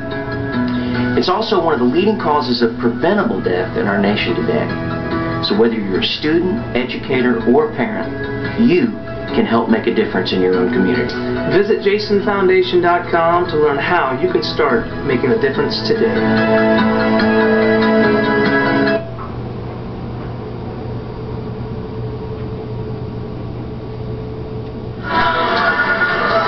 There's the left hand wrapped up, Maurice Purify. You mentioned him, and still unavailable, injured last week, last year's first team All Arena player. Well, in the quarterfinals against the San Jose team last year, he caught 10 passes for 134 yards and four touchdowns. And you're right, they don't really miss him here tonight against one of the best defenses around. It's certainly looking right now like they don't miss him. You know, as you go through the long stretch of Arena Football League season, 18 regular season games, 19 weeks overall when you throw in the bye, attrition ends up setting in at some point, but they've just got so much depth, and you've got a quarterback playing at the level that Nick Davila is playing at.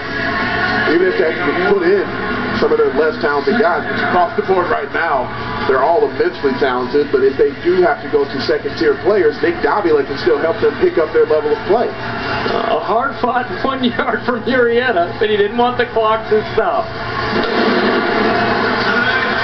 And the Rattlers of Arizona will move to 3-0, hanging 73 points on the board on division rival San Jose.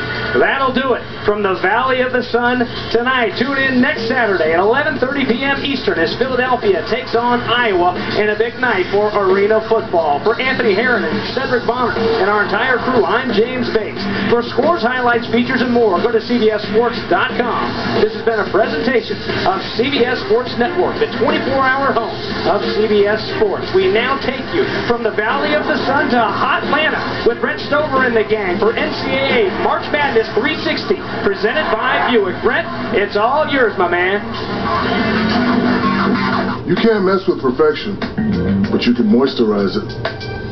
New Gold Bond Men's Lotion. Skin strengthening proteins plus seven intensive moisturizers. Dry skin becomes healthy, good looking. New Gold Bond Men's Lotion. Man up with Gold Bond.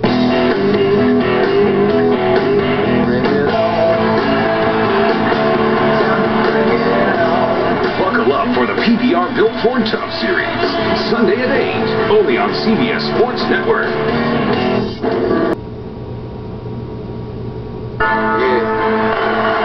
Y'all step on that horn. It's only one goal, one goal. That's to win. They say you only get one shot. Watching the clock, hoping I make it. That drive that come from inside. When chasing greatness, that pride that never say die. Tying my laces, knowing time is not on my side. So I gotta take it. What we work for, sweating we hurt for. Lose, come back and we want more. Feel like a turkey war. So I make sure they don't score, don't score. Leave it all on the court for the love of the competition. competition. No tears in your eyes, see the fear in the eyes of your opposition. opposition. Hunger, this is passion. Every rebound, every basket, every every The heart that becomes champions. We sacrifice. Cause we know the world is watching. We pay the price. So a loss is not an option. Day we sacrifice. Push it to the limit. It ain't over till it's over, y'all. Come on. Let's go. Through the blood, sweat, and tears. I'ma never say die this year. Push it to the limit. Come on. Let's go. NCAA March Madness. Ready, ready, ready. Welcome in NCAA March Madness 360 presented by Buick from Centennial Park, Atlanta, Georgia. What a beautiful day turning into a, uh, a perfect night here in the South. And for Michigan, uh, all things are perfect right now. They advanced to the title game for the first time in 20 years. Brent Stover alongside Pete Gillen, Alaa Abdelnaby as well. And guys, 61-56 over on CBS. It is a final, just ended moments ago. And uh, Michigan outlasts Syracuse 61-56. Great game. Terrific shooting by Michigan. Did an excellent job. Eight three-pointers. Tremendous passing. Great job with the assists. And Mitch McGary was spectacular. Ten points, six rebounds, six assists. He was phenomenal. I thought the point guards negated themselves. Michael Carter Williams did not play well. Trey Burton went through a lot of stretches without being effective. But I thought it was McGary and the that set up really good open looks that they were able to knock down. I thought that was the key. Michigan didn't shoot well, but they were able to knock down key shots at key junctures of the game. McGary, three double-doubles now in the NCAA tournament. He had the 24